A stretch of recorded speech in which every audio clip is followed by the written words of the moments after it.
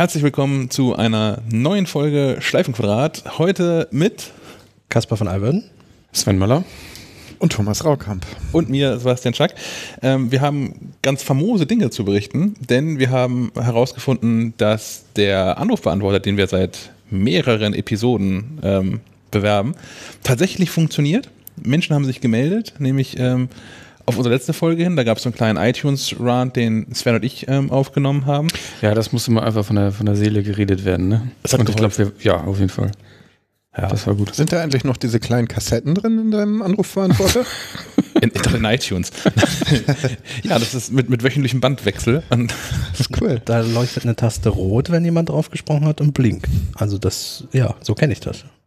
Im Prinzip ist es beim Telefon aber auch so. Da blinkt ja, auch eine rote Leuchte. Und es äh, piept die ganze Zeit. Genau. Bis, bis man die Nachricht abgehört hat. Also wenn ihr uns im Büro Freude bereiten wollt, so sprecht auf diesen Anrufbeantworter.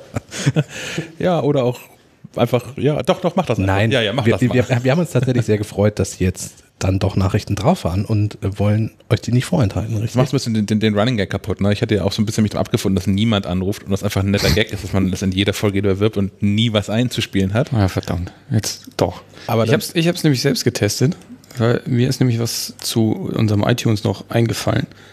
Vielleicht kannst du das einfach mal so als Test abspielen. Das, das machen wir einfach mal, ja. Ja, moin Sven hier. Mir ist gerade nochmal ein Tipp eingefallen für alle Leute, die viel mit Playlists arbeiten und da vielleicht auch einzelne Titel reinwerfen.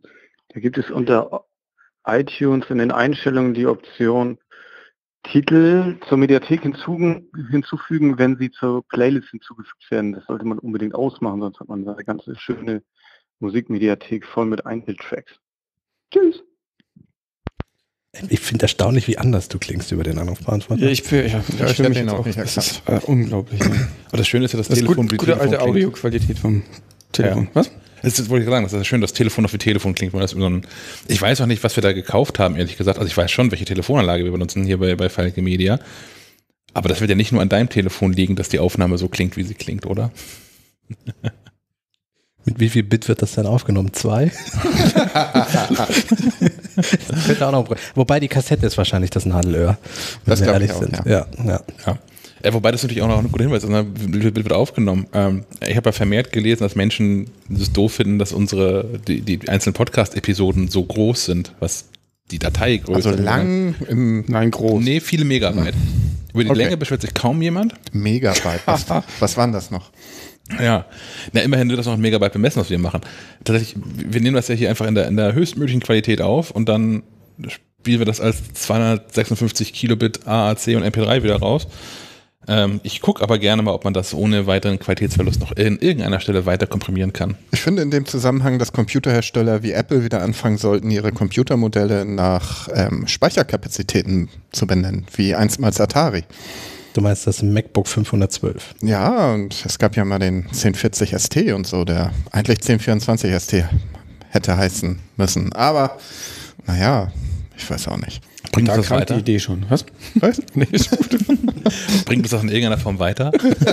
Nein, ich wollte es nur mal einwerfen. Achso, okay. Aber man müsste dann bei Carvites bleiben, finde ich. Das wäre konsequent, ja. Ja, dann würden die Computernamen auch immer länger werden. Das würde mir sehr gefallen. Wie Fernseher. Ja, und das Heft wäre schneller voll.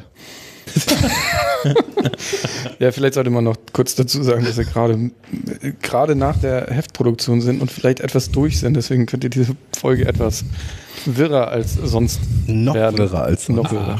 Willst du noch mal die Telefonnummer vom Anrufbeantworter, Herr Schack? Ja. Ähm, die, kann ich hier selbstverständlich auch gerne ähm, da musst du einsp fragen, einspielen. Den Anrufbeantworter von Schleifenquadrat erreicht ihr unter der Telefonnummer 0431 200 766 705. Ich wiederhole. 0431 200 766 705. Das kann sie, die Siri. Ja, ja, ja. Anrufen dürfen wir immer alle, außer Uli Hoeneß. Es gibt noch ein paar andere, die ich nicht auf Wand haben möchte. Bis hm. jetzt hat aber irgendwie nur Sven drauf gesprochen, was irgendwie, wir haben gerade gesagt, wir sind froh, dass endlich jemand drauf gesprochen hat. Wir haben selber angerufen. Das wirkt so ein bisschen. Äh das stimmt ja gar nicht. Ja, ja, spiel mal was anderes ein, so als Beweis. Ich, ich, kann dich beruhigen. Wir haben, wir haben noch ähm, jemanden, Claudia, der hat auch ihren Namen genannt, die ähm, sich zum Thema, ebenfalls zum Thema ähm, iTunes geäußert hat. Hi, ihr Lieben, hier ist die Claudia. Jetzt bespreche ich euren legendären Anrufbeantworter und ich glaube, das würden noch mehr tun, wenn ihr die Telefonnummer in den Folgenotizen eintragen würdet, weil wer der Podcast hört, hat schon einen Stift zur Hand.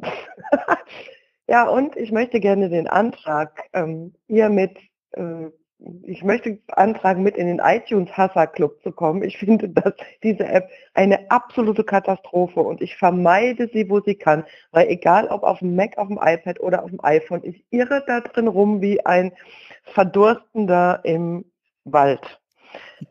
Ähm, herzlichen Glückwunsch zu eurem tollen Podcast Schleifenquadrat. Ich höre euch total gerne zu, wer einfach so eure Ideen bequatscht. Macht gerne weiter so. Mir macht viel Freude und ich grüße euch, die Claudia aus Köln. Ciao.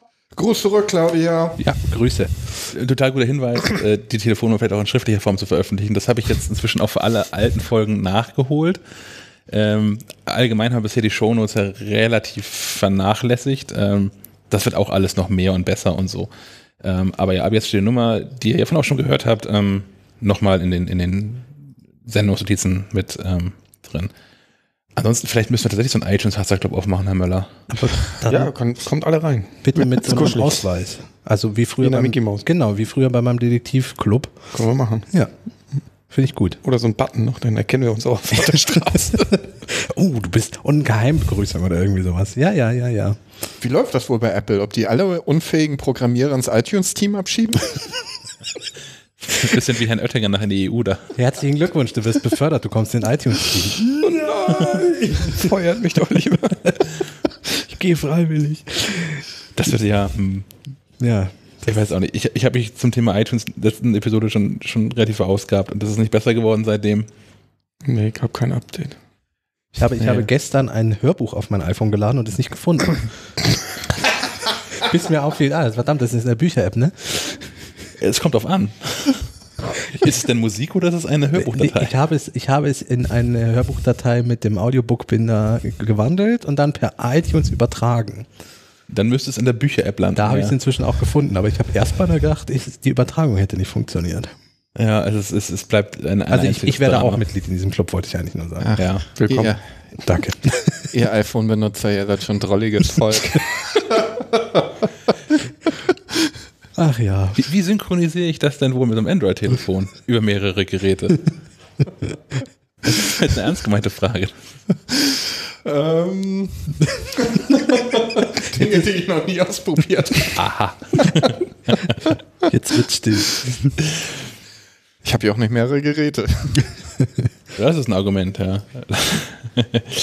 ähm, ja, Claudia, können wir, ja, A- Antragformular geht ja dann zu, so wie es diesen, diesen Club tatsächlich gibt. Vielleicht machen wir das einfach wirklich.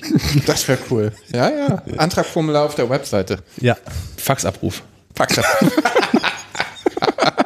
Wegen, Oder schicken Sie eine Postkarte an folgendes Postfach. wegen, wegen. Sicherheit und DSGVO und so. Das ist ein Brief, aber, aber die, die, die Rückbriefmarken darf man nicht vergessen. Ne? Ja, genau. Ja, in einem Rückumsch einem frankierten Rückumschlag. Irgendjemand ruft da an. Ja. Ähm, genau, wir haben aber auch noch einen, einen, einen weiteren Kommentar tatsächlich, ähm, der sich auf die Sendung davor, glaube ich, sogar noch bezieht. Ähm, nämlich äh, zu dem Apple Watch. Hat leider seinen Namen nicht genannt, aber ähm, das macht ja nichts. Jo moin, da ich um die Zeit ja vermutlich keinen mehr vom wohlverdienten Büroschlaf abhalte, kann ich ja auch mal anrufen. Ähm, eigentlich wollte ich nur sagen, was mich ja bei der ganzen Apple Watch etwas gewundert hat. Ich meine mich zu erinnern, dass sie bei der ersten noch gesagt hatten, Tim Cook oder ein anderer ähm, Heinzi, ähm, dass sie sich nicht auf die FDA äh, versteifen, weil sie das einschränkt in der Entwicklung, was auch immer. Und jetzt machen sie es doch. Das zeugt doch eigentlich davon, dass sie weg vom Fitness, also die Uhr als Fitness-Gadget äh, äh, vermarkten wollen, sondern schon mehr Richtung Gesundheit. Das ist eigentlich, was mir so aufgefallen ist. Was mich ein wenig gewundert hat. Ja, ansonsten macht euer Podcast Spaß. Am Anfang dachte ich ja, es wäre mir zu lang und mittlerweile höre ich ihn gerne. Jo, so. Bis dann. Tschüss. Tschüss.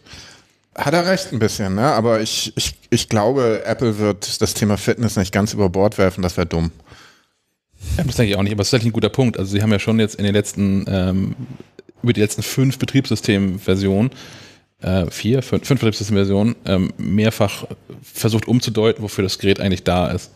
Und jetzt gerade mit WatchOS 5, da haben wir ja auch schon mal länger darüber diskutiert in, in, in der Redaktion, ähm, ist ja ganz, ist ganz klar, dass die ganze, dieser Fitness, Fitnessbereich, äh, Gesundheitsbereich und Benachrichtigungen, das ist, was da irgendwie funktioniert und ähm, Apps auf der Watch eigentlich auch nicht mehr stattfinden. Das hat, also auch während der Präsentation zu WatchOS 5 hat das keine Rolle gespielt, dass es da irgendwelche Apps auf der Uhr gibt. Mag vielleicht wiederkommen, jetzt mit dem größeren Display ergibt es vielleicht auch für verschiedene Anbieter wieder mehr Sinn und auch mehr Power, vor allem das Ding auch schneller arbeiten, die Apps. Ähm, ergibt es vielleicht für mehr Anbieter auch wieder einen, einen, einen deutlicheren Mehrwert, da vertreten zu sein.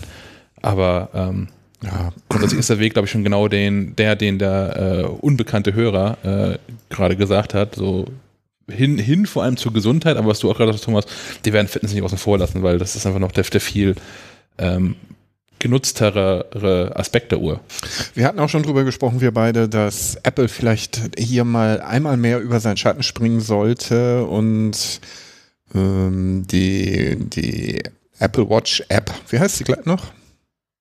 Du meinst die auf dem Handy? Ja. Das ist die Apple Watch App. Ach so, ja, so heißt sie tatsächlich. Ähm, ähm, vielleicht für ähm, Android entwickeln sollte auch. Denn ich glaube, die Apple Watch sollte man nicht auf die, aufs iPhone festnieden. Gerade jetzt, wo die Gesundheitsfunktionen dazugekommen sind, ist das durchaus ein Markt, den sie, den sie weiter öffnen sollten. Wäre nicht dumm und würde niemandem wehtun, glaube ich. Ich kann mir vorstellen, dass sie das insofern öffnen, als dass die Apple Watch ein Standalone-Gerät wird. Also jetzt gerade auch, wo das, das Ding ein LTE-Modem hat und man eigentlich jetzt auch nicht mehr so richtig weiß, wofür man noch eine Apple Watch-App bräuchte. Klar, momentan ist es komfortabel, Dinge drüber einzurichten. Ähm, ich kann mir Apple Watch als Standalone-Gerät vorstellen. Ich glaube nicht, dass sie das jemals mit Android koppeln werden, weil sie keine Kontrolle über die Daten haben, die auf den Android-Geräten landen. Ja. Also rein aus dem ähm, ich weiß, das ist der Punkt, an dem wir immer auseinanderdriften, weil es den Kunden auch relativ egal ist, aber für Apple ist Datenschutz ein wichtiger Punkt. Und sie werden die Daten, also gerade die ganzen Gesundheitsdaten, werden sie nicht auf dem Android-Telefon rauslassen, wo sie keine Ahnung haben, wo die Daten hinwandern. Also Apple sagt, dass das ein wichtiger Punkt für die ist. Ja. Aber bisher sieht das ja auch so aus. Um, frag mal ein paar Chinesen, die sehen das anders. der Chines, ja. Ja, das sind ja nur die Gesetze vor Ort, Thomas. Äh, natürlich, ja. ja Dem ja. muss man sich natürlich beugen. Dem muss man das sich beugen. Ein, ja, ja, das ja. ein. Gut, äh, ich, ich, wir driften schon wieder ein Thema ab, die für 14 Podcasts reichen, fürchte ich. du meinst, das ist lang genug? Eigentlich müssen wir zu deinem Thema kommen. Eigentlich müssten wir, ich, ich, ich scharre schon mit den Hufen. Ähm, ich habe heute mitgebracht die Siri-Kurzbefehle für, für alle, die sich nicht so ganz damit auseinandergesetzt haben bisher. Apple hat für iOS 12 eine neue App angekündigt im Sommer und äh, die den wunderbaren Namen Kurzbefehle trägt und ihre Funktion soll sein, Siri durch eine Abfolge von Aktionen deutlich ja, nicht intelligenter zu machen, sondern ähm, ja, Dinge festlegen zu können, die Siri machen soll für einen. Also zum Beispiel ein Kurzbefehl, den ich für mich habe versucht anzulegen, wir kommen gleich noch zu dem Warum, ähm, ist zum Beispiel morgens mir einmal kurz zu erzählen, wie das Wetter wird und ähm, was für Nachrichten es gibt und wie mein Kalender aussieht, was meine Alexa zum Beispiel ja schon lange kann. Ich könnte das mit Siri auch, indem ich sie einfach frage und die Dinge einzeln abfrage, aber ich habe keine Lust, morgens fünf Stunden mit Siri zu reden, zumal sie mich eh in der Hälfte der Zeit nicht versteht. Deswegen ist die Idee von der Kurzbefehle-App, du legst ein Befehl fest, du definierst, was du mit Siri als Befehl quasi mit ihr sprichst, ihr sagst, und dann führt sie mehrere Aktionen hintereinander aus. Und ich bin gerade dabei, einen Artikel zu schreiben, der Kurzbefehle aus der Hölle heißt, weil die App für mich persönlich eine Katastrophe ist. Ganz einfach. Ähm, das liegt an verschiedenen Gründen. Zum einen hat sie sehr viele Bugs. Ich komme gleich noch zu ein oder zwei. Ähm, dann ist sie bei weitem nicht so unkompliziert, wie man das im ersten Moment denkt, weil die Idee ist ja, dass ja jetzt jeder Nutzer mit diesen Siri-Kurzbefehlen Dinge erleichtern kann. Äh, ich habe spaßeshalber mal für MacLife einen Kurzbefehl geschrieben, der die letzten drei News vorliest, die auf der Webseite erschienen sind der ist, wenn du scrollst, gefühlt musst du drei Minuten scrollen, um am Ende anzukommen, damit das Ding funktioniert. Und dann funktioniert der jetzt am Ende auch nicht mal. Ähm, und das heißt, es ist überhaupt nicht unkompliziert. Und allein für mein Morgenroutine-Ding, wie wird's Wetter und äh, was für Nachrichten gibt es, äh, habe ich, glaube ich, insgesamt schon sechs Stunden gesessen und das Ding funktioniert immer noch nicht. Also die App ist auch unglaublich kompliziert. Okay, das liegt aber an der App, nicht an dir. Es liegt, es, liegt an, es liegt vielleicht auch an mir, aber ich, ich finde halt irgendwie der Ansatz war, dass, dass jeder Nutzer das jetzt damit machen können soll. Ja, ich habe hab das gesehen, was du da gemacht hast. Das sah nicht aus, als würde das jeder Benutzer Das- einfach so machen können. Ja, und, und dann gibt's halt so wunderbare Sachen wie, dass die Kurzbefehle-App nicht im Hintergrund ausgeführt werden darf. Also iOS schießt Apps nach drei Minuten ab, ähm, die nicht explizit davon ausgenommen sind, um Strom zu sparen. Das ist ja an sich eine gute Sache. Also wenn eine App länger als drei Minuten offen ist, muss sie dafür extra ausgelegt sein, weil sonst wird sie in den Ruhemodus versetzt, kann keine Aktion mehr ausführen und spart Akku. Das ist bei der Kurzbefehl-App leider auch so, nur ist das unter Umständen ein bisschen doof, weil es zum Beispiel von, einem von Apple selbst definierten Kurzbefehl gibt, in dem man festlegen kann, wie lange Musik gespielt werden soll und dann wird die Musik ausgeschaltet. Und man kann da die Minuten festlegen. Da steht nirgendwo der Hinweis, du kannst übrigens nur drei Minuten Musik hören, danach würde die Wiedergabe nicht mehr beendet werden, weil die App in den abgeschossen wurde. Das steht da nirgends. Du kannst zehn Minuten Wiedergabe einstellen, nach zehn Minuten hört die Wiedergabe aber nicht auf, weil die App halt nicht mehr im Hinter weil die App nicht mehr im Hintergrund läuft, weil sie abgeschossen wurde von iOS. Und es ist eine Apple-eigene App. Das heißt, die hätten das einfach mit reinprogrammieren können, dass das funktioniert. Und ich, ich weiß auch nicht, ob die ihren eigenen Kurzbefehl nicht mal getestet haben. Ob sie nicht mal eine Playlist gestartet haben und geguckt haben, ob die auch länger als die angegebene Minutenzahl spielt oder nicht. Und solche Späße. Ähm, dann habe ich mal ein Beispiel mitgebracht, was mich zum Beispiel auch noch tierisch aufregt. Man kann Siri ja, in, in Worte in den Mund legen. Also bei meinem Kurzbefehle, äh, bei meinem Kurzbefehl für die Morgenroutine habe ich zum Beispiel reingeschrieben, dass sie Guten Morgen, Kaspar, sagen soll, heute ist, dann das aktuelle Datum, dann dein erster Termin heute ist und so weiter und so fort. Wenn ich das ausführe, ich mache es hier mal spaßeshalber, in der App funktioniert das auch wunderbar. Kaspar, heute ist der 16. Oktober 2018, 15.03 Uhr. Dein erster Termin heute ist. Und so weiter und so fort. Ähm, das funktioniert wunderbar. Wenn ich das aber über die Hey Siri Funktion mache, jetzt hört sie mich wieder nicht. Hey Siri. Okay, sie macht's nicht. Also Vorführeffekt, wenn ich das über die Hey Siri Funktion mache, dann wird der Befehl ausgeführt, aber sie sagt jedes Mal zwischendrin Kurzbefehle sagt.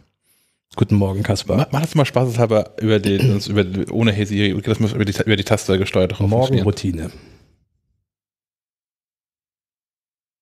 Kurzbefehle sagt, Guten Morgen, Kaspar. Heute ist der 16. Oktober 2018, 15.04 Uhr. Kurzbefehle sagt, dein erster Termin. und so weiter und so fort. Also sie macht es bei jedem Schritt, dazwischen sagt sie dann Kurzbefehle sagt. Simon Says. ja, aber in der App wird das zum Beispiel nicht angezeigt. Ähm, dann habe ich einen Kurzbefehl festgelegt, der, äh, wie gesagt, die letzten drei News auf maclive.de vorliest.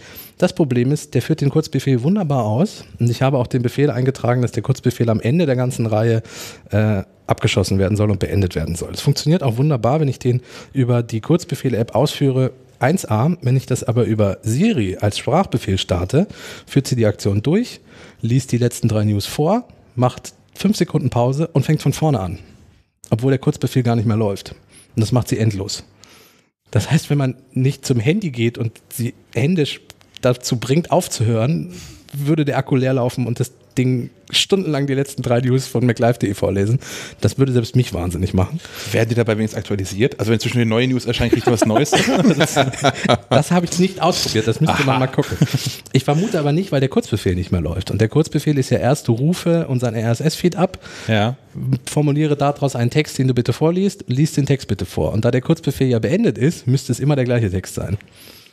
Da ist echt viel Kraut und Rüben. Aber so einmal so, so, so zwei Sachen zur, zur Ehrenrettung des ganzen Ansatzes. Ja. Ähm, was ich wirklich nett finde, ist, wenn man in den Einstellungen ähm, Siri und Suchen aufruft, bekommt man ja äh, vor, äh, Kurzbefehle vorgeschlagen, Genau, basierend auf Aktionen, die man regelmäßig oder häufiger durchführt. Genau, das ist die, dafür braucht man die App auch nicht, weil die App ist ja auch nicht standardmäßig installiert bei Genau. iOS 12, die muss man aus dem App Store runterladen. So, das heißt, und das ist auch was, was jeder kann, weil ich habe dann Genau. hier ähm, äh, drin stehen als Vorschlag, sende eine Nachricht an Person und kann dann Plus-Button drücken, habe dann den Kurzbefehl und Mhm. Gut, das ist noch kein gutes Beispiel, weil ich einfach auch so Siri sagen kann, sende eine Nachricht an Ja. Klaus-Peter. Aber vom, vom Prinzip her funktioniert das da an der Stelle ganz gut. Und das andere, also ich, ich glaube, so, so Limitierung in der ganzen Kurzbefehl-App, die ähm, kommt, sicherlich werden die auch ein paar Sachen übersehen haben, das glaube ich auch. Mhm. Ähm, mögen aber auch vielleicht daher rühren, dass sie so ein bisschen Angst davor haben, was Menschen damit alles machen. Und äh, Kurzbefehle, dass du dann tatsächlich diverse Kurzbefehle online findest, ähm, die dir dein Telefon leer machen. Also Ja. jetzt akkutechnisch. Und dass sie deswegen vielleicht auch ähm, ähm, übervorsichtig sind, was dann aber dumm wirkt einfach. Ja, aber dann, dann darf ich das nicht selber als, als, als Aktion. Also äh, Eben. Die Kurzbefehl, der Kurzbefehl ist der Überbegriff und jeder Kurzbefehl besteht aus verschiedenen Aktionen. Fängt ja schon mal an, dass man ein neues Vokabular, Vokabular für diese App braucht. Ähm, dann darf ich das aber auch von Seiten von Apple nicht als Aktion anbieten, dass die Wiedergabe nach so und so vielen Minuten stoppt. Also das ist irgendwie ähm, so ein bisschen kontraproduktiv. Äh, Und, und so viel kann die App ja auch gar nicht. Also ich stoße ja ganz bewusst oft auch an Grenzen. Was zum Beispiel nicht geht, ist, dass Airplay damit automatisch verbunden wird. Also wenn man einen HomePod hat, kann man nicht sagen, gib das wieder und spiele es automatisch auf dem HomePod ab. Das geht nicht. Und solche Späße. Da sind zum Beispiel schon Grenzen. Bluetooth kann man auch nur ein- oder ausschalten. Man kann nicht sagen, verbinde dich automatisch mit dem und dem Bluetooth-Gerät, was du vielleicht schon kennst.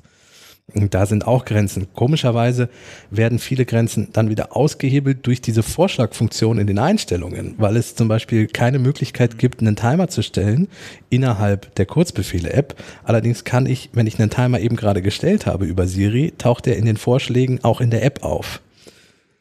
So, und Okay. das sind so Kleinigkeiten. Warum, warum sind gewisse Apps nicht drin, aber über die Vorschläge kann ich sie dann plötzlich benutzen und so. Und, und wenn du die App installiert hast, gibt es plötzlich zwei Orte, wo diese Siri-Kurzbefehle sind. Und das ist auch ein bisschen unübersichtlich. Also es, es wirkt alles überhaupt noch nicht fertig. Und, und allein, dass ich daran so lange basteln muss, um irgendwas hinzukriegen, das wirkt so überhaupt nicht Apple-like. Also wir haben ja mal gesagt, die AirPods sind mit unser Lieblingsprodukt im letzten Jahr, weil, weil sie einfach äh, aufsetzen, loslegen, wieder rausnehmen und fertig. Und, und die Kurzbefehle-App ist so überhaupt nicht Apple-like, was das betrifft. Wo, wobei der natürlich ähm, so in allem, auch von, von Optik her, recht ähnlich dem Automator auf dem Mac ist. Ja, oder der Workflow-App. Der, der, die sie übernommen die- diese haben. Ersatz hat jetzt quasi, ja, genau, aber- ja, ja. Ähm, aber genau, die- aber die Workflow war ja kein Apple-Produkt. Nee, Ähm, die haben sie eingekauft. Aber Automator auf dem Mac kommt ja von Apple, Mhm. das ist hinreichend komplex und das nutzt auch kein normaler Mensch. Also Ja. ich kenne keine Privatperson, die das irgendwie nutzen würde. Nö, das ist zu komplex. Ähm, ich würde sogar so weit gehen, dass ich sage, dass so über 90 Prozent meiner Bekannten, die einen Mac haben, wissen nicht, dass es die gibt. Mhm. Und ich nehme an, es wird mit dieser Kurzbefehl-App genauso sein. Ja. Echte Menschen wissen nicht, dass die existiert. Nö, nö. Und Menschen, die wissen, dass sie existiert, wissen auch relativ zügig, worauf sie sich da einlassen. Und Das merkst du schon daran, dass die App im Grunde nicht stattfindet. Also weder bei der Berichterstattung von, von uns oder von anderen Seiten. Ähm, das, das, wo ich mir mal maximal Hilfe holen kann, sind irgendwelche Reddit-Sub-Foren, wo, wo irgendwie irgendwelche Nerds dann, so wie ich, sich zusammensetzen und sagen, warum, warum kann Siri eigentlich das und das nicht mit der Kurzbefehl-App? Und dann überlegen, wie man das kann. Und das, wenn das da in irgendwelchen Untergruppen stattfindet, zeigt das schon, dass das nichts, nichts großartig irgendwie. Ja, aber ich meine, Apple, Apple wird das ja geahnt haben, sonst hätten sie das, sonst würden sie die Kurzbefehl-App ja plakativer fahren, auch im App Store und so. Aber die- Also die, die die werden so- wissen, dass das noch dass das nicht fertig ist Aber und dass das- es jetzt irgendwie eine gute Phase ist, dass Leute das mal ausprobieren und, und man gucken kann, woran Menschen scheitern. Das Aber dann ist schon man eine Beta-Version. Ja, ich wollte gerade sagen, dann soll man es Beta nennen. Dann würde ich mich auch teilweise nicht so aufregen. Dann soll man aber bitte auch eine Möglichkeit einräumen, Fehler irgendwie zu melden, wie das ja in der normalen Beta-Phase bei Apple ja auch ist. Es gibt ja in Beta-Phase immer diese wunderbare Beta-App, wo man dann Fehler melden kann. Ich würde gerne bei Kurzbefehle 15 Fehler, die mir schon aufgefallen sind, an Apple melden, in der Hoffnung, dass man sie abstellt. Aber ich habe nicht die Möglichkeit, außer ich suche mir das irgendwo raus und schreibe jemanden hin und hoffe, das liest jemand. So. Einfach direkt an Tim. Ja, ja, gut, das ist natürlich auch eine Möglichkeit. Oder vielleicht ist, ist Federici der bessere Ansprechpartner. Ich wollte gerade sagen, aber- Phil wird wahrscheinlich eher derjenige sein, der das dann, dann lesen muss oder, Oder der, ja. muss. Ähm, ja, also wie gesagt, mich stört halt ein bisschen daran, dass das Potenzial eigentlich riesig ist und man wirklich damit was anfangen könnte. Aber dass es dann halt häufig an der Umsetzung hakt, weil es entweder dumme Fehler sind oder die App das dann doch nicht kann. Was mich aber auch irritiert tatsächlich ist, dass wir jetzt ja ähm, schon seit längerer Zeit auch Siri auf dem Mac haben Ja. und dass ich den Kram nicht synchronisieren kann. Ja. Also weil ein, ein, ein, ein Großteil der Kurzbefehle könnte ja auch ohne weiteres auf dem Mac funktionieren. Genau. So Nachrichten schicken, Anrufe, Ja. alles was Ja. auf Karten basiert ist Ja. oder Freunde finden. Und, Ja. Ähm, das ist aber auch null vorgesehen. Aber äh, das ist auch, das habe ich gar nicht verstanden, nachdem sie die Kurzbefehle-App vorgestellt haben oder von der Existenz berichtet haben während der äh, WWDC Mhm. und mehr oder weniger im selben Atemzug gezeigt haben.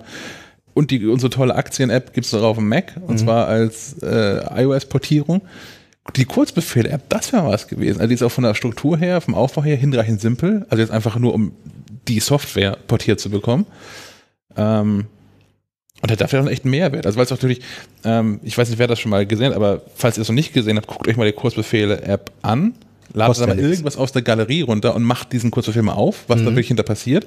Ähm, ich habe auch bei dir gesehen, was dir dieser MacLive-Kurzbefehl, den du versuchst da zu machen, äh, alles so mit sich, mit sich schleppt an, an ähm, Funktionen, Aktionen und Aufrufen. Ähm, das ist ja was, was du auch im Zweifel am, am Mac viel cooler hinbekommst. Ja, also ich, ich, ich steige da jetzt nicht ein, weil das dauert dann eine halbe Stunde, aber ähm, du hast schon recht, aber die, die App funktioniert auch eigentlich nur auf dem iPhone oder auf dem iPad gut, wenn sie denn funktioniert. Ähm, ich habe es versucht mit der Apple Watch einen Kurzbefehl zu starten. Ähm, macht sie, ähm, also sie fängt an rumzurödeln auf der Apple Watch Siri, ähm, sagt mir dann, dass irgendwas mit den Siri-Einstellungen nötig wäre und bietet mir einen Siri-Einstellungsbutton an. Äh, wenn ich da draufklippe, passiert aber nichts. So, das ist schon mal der Bug auf der Apple Watch.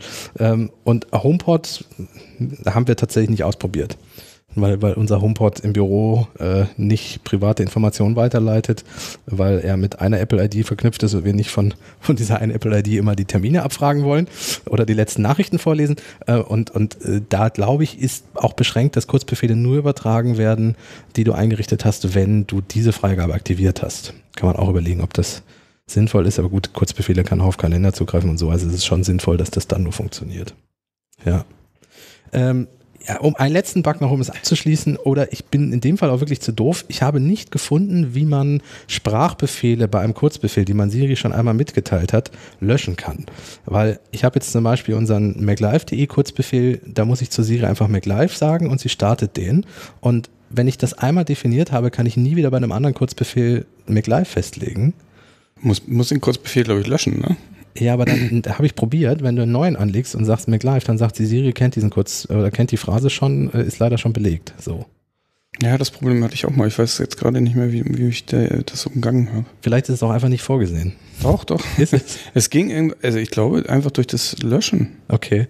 Äh, wenn, wenn irgendeiner da draußen vielleicht zufällig die Funktion schon gefunden hat oder sagt, Kurzbefehle super, ich nutze das täglich und ich habe überhaupt keine Probleme damit, dürft ihr auch gerne auf unseren Anrufbeantworter sprechen. Äh, in der Tat, ja. Also insofern, ja. Ich will jetzt auch nicht zu lange über die App herziehen, aber Ach nö, also ich, ich finde das total interessant, weil ehrlich gesagt, äh, ich habe mir das angeguckt und war dann relativ zügig zu faul, weiter mit zu experimentieren. Ich weiß auch nicht, was mich geritten hat, damit mich so reinzuknien. Ich glaube, das, das Potenzial, was da drin steckt. Und ich finde, ich glaube, deswegen rege ich mich auch wirklich so auf, weil es halt überhaupt völlig ungenutzt ist. Und so auch nicht funktionieren wird. Also selbst wenn es jetzt eine inoffizielle Beta-Phase ist. Ja. Jeder, der die App jetzt einmal an, aufgemacht hat, probiert hat, wird sie in Zukunft nie wieder anfassen. Ich habe es übrigens gerade rausgefunden. Ah, danke Sven. Das in den, in den Einstellungen von, ähm, da wo du auch den, den Siri-Kurzbefehl hinterlegst, Ja. ist ein bisschen verwirrend, ne? Ähm, oh Gott, jetzt macht er, jetzt spielt er hier gleich was. Also du bist wo? Du bist bei Einstellungen Siri und Suchen, oder? Nee, ich bin bei der, in der Kurzbefehle-App, Also bei der gehst- Einstellung einer, Du gehst, ja, siehst du, jetzt kommt hier nämlich ja. Musik. geh mal. Ähm, die Siri-Phrase, wenn du Genau. darauf gehst, kannst Ja. du unten auf Kurzbefehl löschen klicken. Ah, okay. Ist ein bisschen irritierend, dass da auch Kurzbefehl steht, aber ja, und, und was ist, wenn ich den Kurzbefehl vorher gelöscht habe? Ohne die Phrase zu löschen. Ich glaube, das war nämlich mein Fehler. dann bist du in, Dann hast du in, nie in der Hölle gefangen. Ja, deswegen auch Kurzbefehl aus der Hölle. Okay. Also wir sehen, es ist noch sehr viel Luft nach oben. Äh, und, und ich finde halt, was mich auch ein bisschen stört, Workflow hat für mich eigentlich relativ gut funktioniert, aber die App gibt es jetzt auch nicht mehr. Also die ist tot. Die ist von Kurzbefehle gekillt worden. Ähm, und Kurzbefehle ist für mich aktuell einfach kein Ersatz. Punkt. So, deswegen ist es doppelt schade. In der Tat, ja. Also weil es ja auch grundsätzlich erstmal vielversprechend ist. Ja. Ja. Aber mal gucken, vielleicht iOS 13 oder weil es ja auch eine einzelne App ist, kann die ja auch selber Updates erhalten. Ich denke auch, so. die, werden, das, die werden da vorher ähm, was nachliefern. Und falls ihr eine Adresse habt, wo ich meine eine lange Backliste hinschicken kann, sagt auch gerne Bescheid. Oder wenn, wenn Phil irgendwas möchte, soll er. Ich gebe dir nachher meine Adresse. Gib mir mal eine Adresse, dann schicke ich da mal ein Ja. paar Kommentare hin. Ähm, genau, und was, was Kasper auch schon sagte, wenn, wenn, wenn ihr äh, gute, funktionierende Kurzbefehle habt, ähm, ruft uns gerne an, unter der vorhin schon abgespielten Nummer und jetzt auch sich in den Sendungsnotizen befindlichen Nummer ähm, oder schickt uns eine Mail mit dem Kurzbefehl, der gut funktioniert. Also man kann ja Kurzbefehl auch teilen. Ja, genau. Ähm, wenn ihr was Cooles habt, ähm, ähm, einfach per Mail an uns und wahrscheinlich am besten direkt an dich. Äh, ja, von mir aus gerne. Dann müsstest du jetzt dein, deine Mailadresse sagen. Äh, äh, ungewohntes Gefühl. Äh, C. L W O E R D E N at falkemedia.de. Schreiben wir auch nochmal in die Notizen. Falke wie ne? Ihr kriegt das hin. Cool. Gut. Ähm, Ja, es gibt auch noch eine deutsche Seite für diese wunderbaren Kurzbefehle, die Sammelseite. Das schreibe ich auch nochmal irgendwo auf. Ich habe die jetzt gerade nicht, ich finde die nicht. Äh, ne, es gibt eine Community, tatsächlich eine deutsche Community, weil ja englische Kurzbefehle sehr viele zu finden sind, aber es gibt wohl auch, es gibt eine Seite, die auch deutsche Kurzbefehle sammelt. für international ist ähm, Sharecuts, glaube ich, ganz gut. Heißen die Sharecuts? Genau, ich glaube, ja. die heißen Sharecards, ja. Genau. Ja. Ähm, jetzt haben wir gerade schon wieder über den Anrufbeantworter gesprochen. Das ist eine fast gute Überleitung, Ah. denn ich habe ähm, unlängst mal wieder äh, telefonieren dürfen. Und zwar habe ich telefoniert mit ähm, Reinhold Gatzka. Reinhold Gatzka ist der Geschäftsführer von CPN, diesem Apple-Händler-Netzwerk. Und ich habe mit dem mal ausführlich, ich glaube, eine gute halbe Stunde darüber gesprochen, ähm, wie das eigentlich so ist, Apple-Händler zu sein, was, was Apple einem ermöglicht, was sie bei einem auf Steine in den Weg legen. Ähm, Reinhold ist da schon seit vielen, vielen Jahren mit an Bord und hat äh, mitbekommen, wie das eigentlich so ist, wenn man ein, ein florierendes Business hat mit wir verkaufen Apple-Geräte und dann Apple auf einmal sagt, Deutschland, das ist ein cooles Land, wir machen eigene Stores auf. Was das so bedeutet. Und ähm, das Interview hört ihr jetzt. Ich spreche heute mit Reinhold, Reinhold Gatzka. Reinhold, wer, wer bist du und was machst du eigentlich?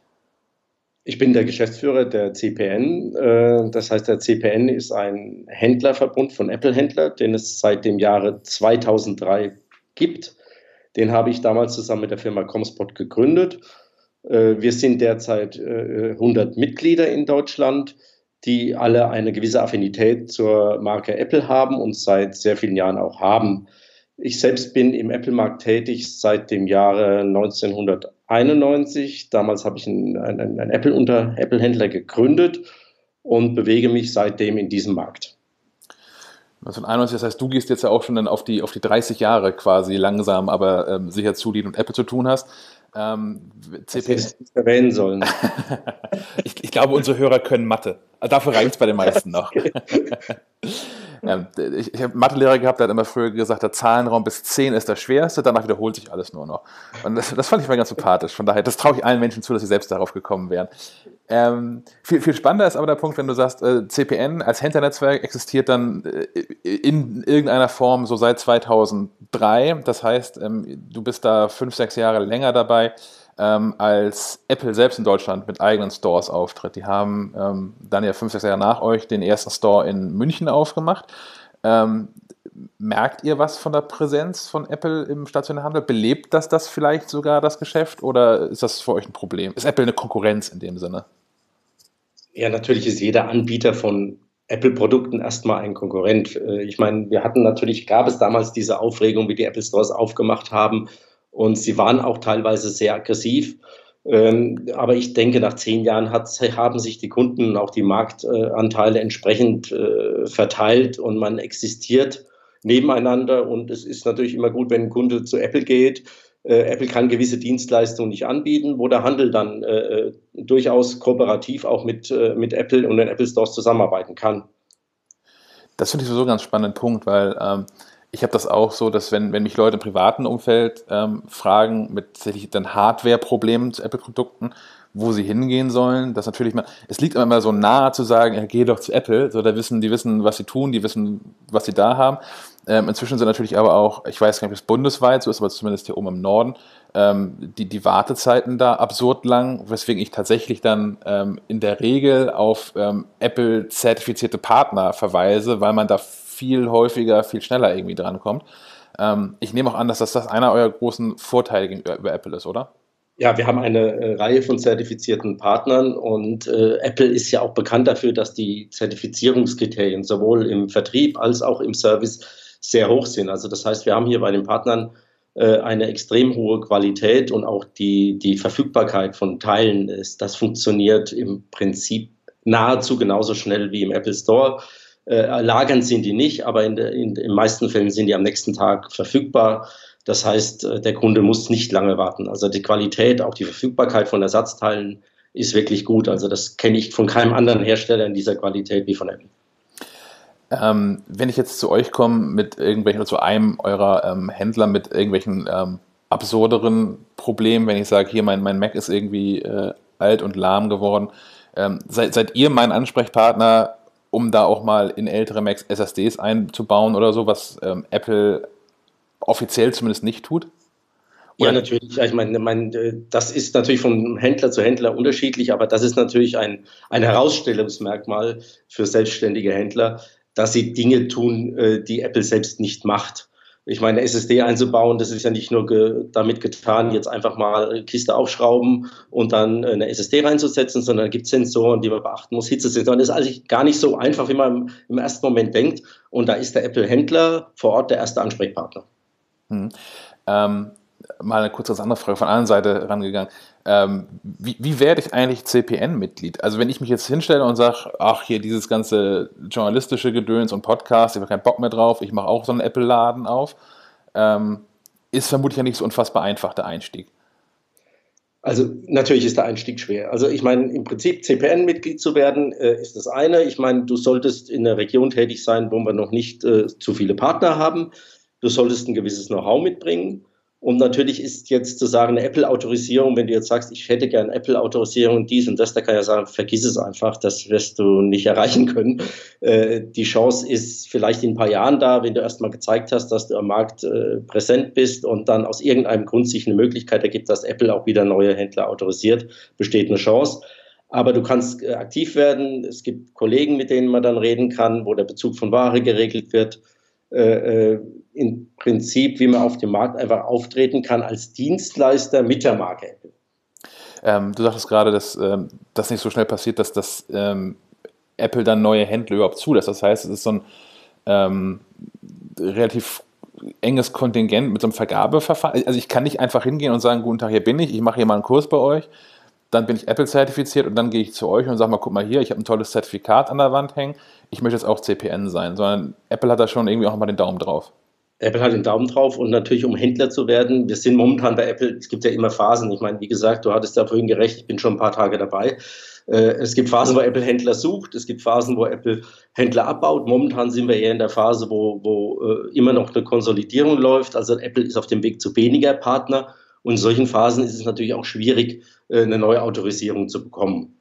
Ne, ich meine nicht, dass es unmöglich ist, aber es ist sehr, sehr schwierig und die Hürden sind sehr, sehr hoch. Ähm, die, die, Hürden sind hoch im Sinne von, also bürokratische Hürden oder sind die, die Anforderungen, also die, die technischen es oder die, die Know-how-Anforderungen so hoch?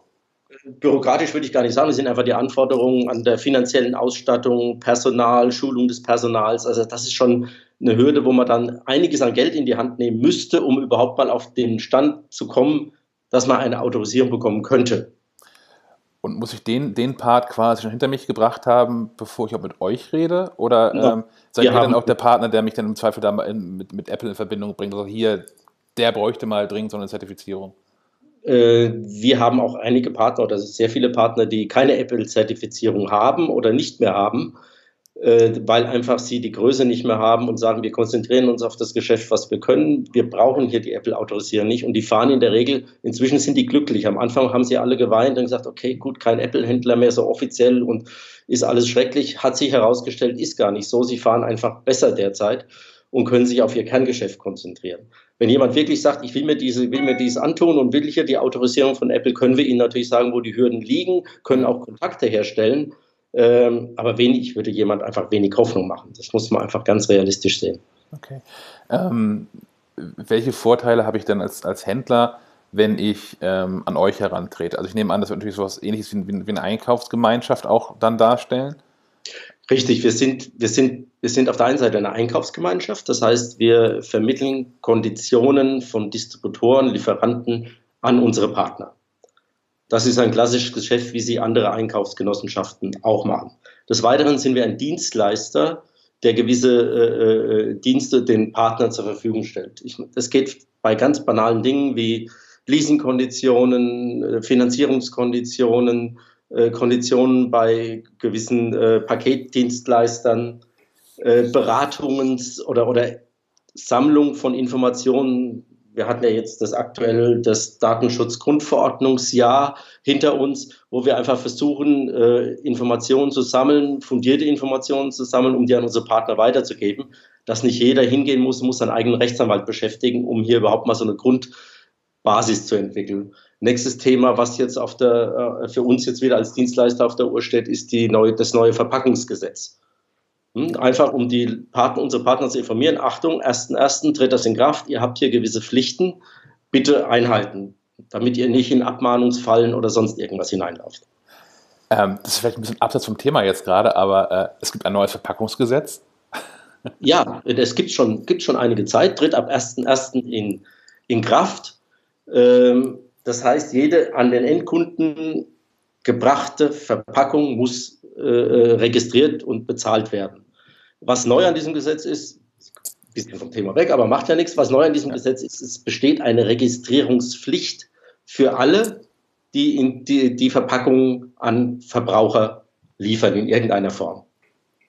Also nicht für den, für den Hersteller, sondern für den Händler tatsächlich. Äh, ja, das, die Definition ist natürlich, Hersteller ist jemand, der Verpackung zum ersten Mal an Endkunden bringt. Das ah, ist die Definition okay. Hersteller, was in der Regel ein Online-Händler zum Beispiel wäre. Ja. Das heißt, er hat eine, es gibt ein neues zentrales Register und das ist öffentlich einsehbar und hier muss er sich registrieren. Wenn er dann nicht registriert ist am 1. Jahr, können, 1. Januar, könnte ein Wettbewerber natürlich hingehen und ihn abmahnen. Also ist wieder eine kleine neue Falle, die sich da aufgetan hat und ist noch gar nicht so groß in den Medien, aber ist auch kein, kein Riesenakt, sich hier registrieren zu lassen, aber man muss es halt einfach mal tun. Das ist spannend. Ähm, ja, sicherlich, sicherlich so, ein, so ein Nebenkriegsschauplatz, aber äh, habe ich gerade zum ersten Mal gehört. Ja, und das sind so Dinge, wo wir einfach ähm, hören, was ändert sich wieder gesetzlich und, und was, äh, worauf müssen unsere Partner auch achten. Ja, das heißt, ihr habt auch ähm, vermutlich ein, ein, so ein internes Schulungsprogramm dann in all solchen Belangen. Wir, wir kontaktieren dann entsprechende Stellen. Wir haben, äh, wir haben äh, im Hause einen Juristen, der uns hier beraten kann. Und äh, der hat auch auf unserer letzten Veranstaltung einen, einen guten Vortrag zu dem Thema, Thema Datenschutzgrundverordnung äh, äh, gehalten. Das heißt, wir schaffen hier einfach Kontakte und äh, unterstützen den Händlern in seinen Aktivitäten nach außen. Okay. Ähm, kommen wir zurück zu den, zu den Kunden, die bei äh, euch oder allgemein die, die Apple-Produkte ähm, erwerben. Ähm, wir haben schon gerade gesagt, dass man bei euch äh, in der Regel mit kürzeren Wartezeiten ähm, rechnen kann, zumindest im Vergleich zu den hochfrequentierten Apple Stores, so in, in, in Ballungsgebieten, äh, wo ja fast alle Apple Stores ähm, sind. Ähm, was unterscheidet, unterscheidet, euch sonst noch so von, ähm, von Apple selbst? Wie, wie versucht ihr euch da ein bisschen von abzugrenzen, auch um zu sagen, ja, es gibt Apple, wir verkaufen auch Apple, aber kauft das doch lieber bei uns? Ja gut, ich meine, die, jetzt meine ganz persönliche Meinung, die Apple Stores sehe ich in erster Linie äh, für die Versorgung von Privatkunden prädestiniert. Das sind schöne Shops, da können die reingehen, können sich Produkte anschauen. Da sehe ich die auch.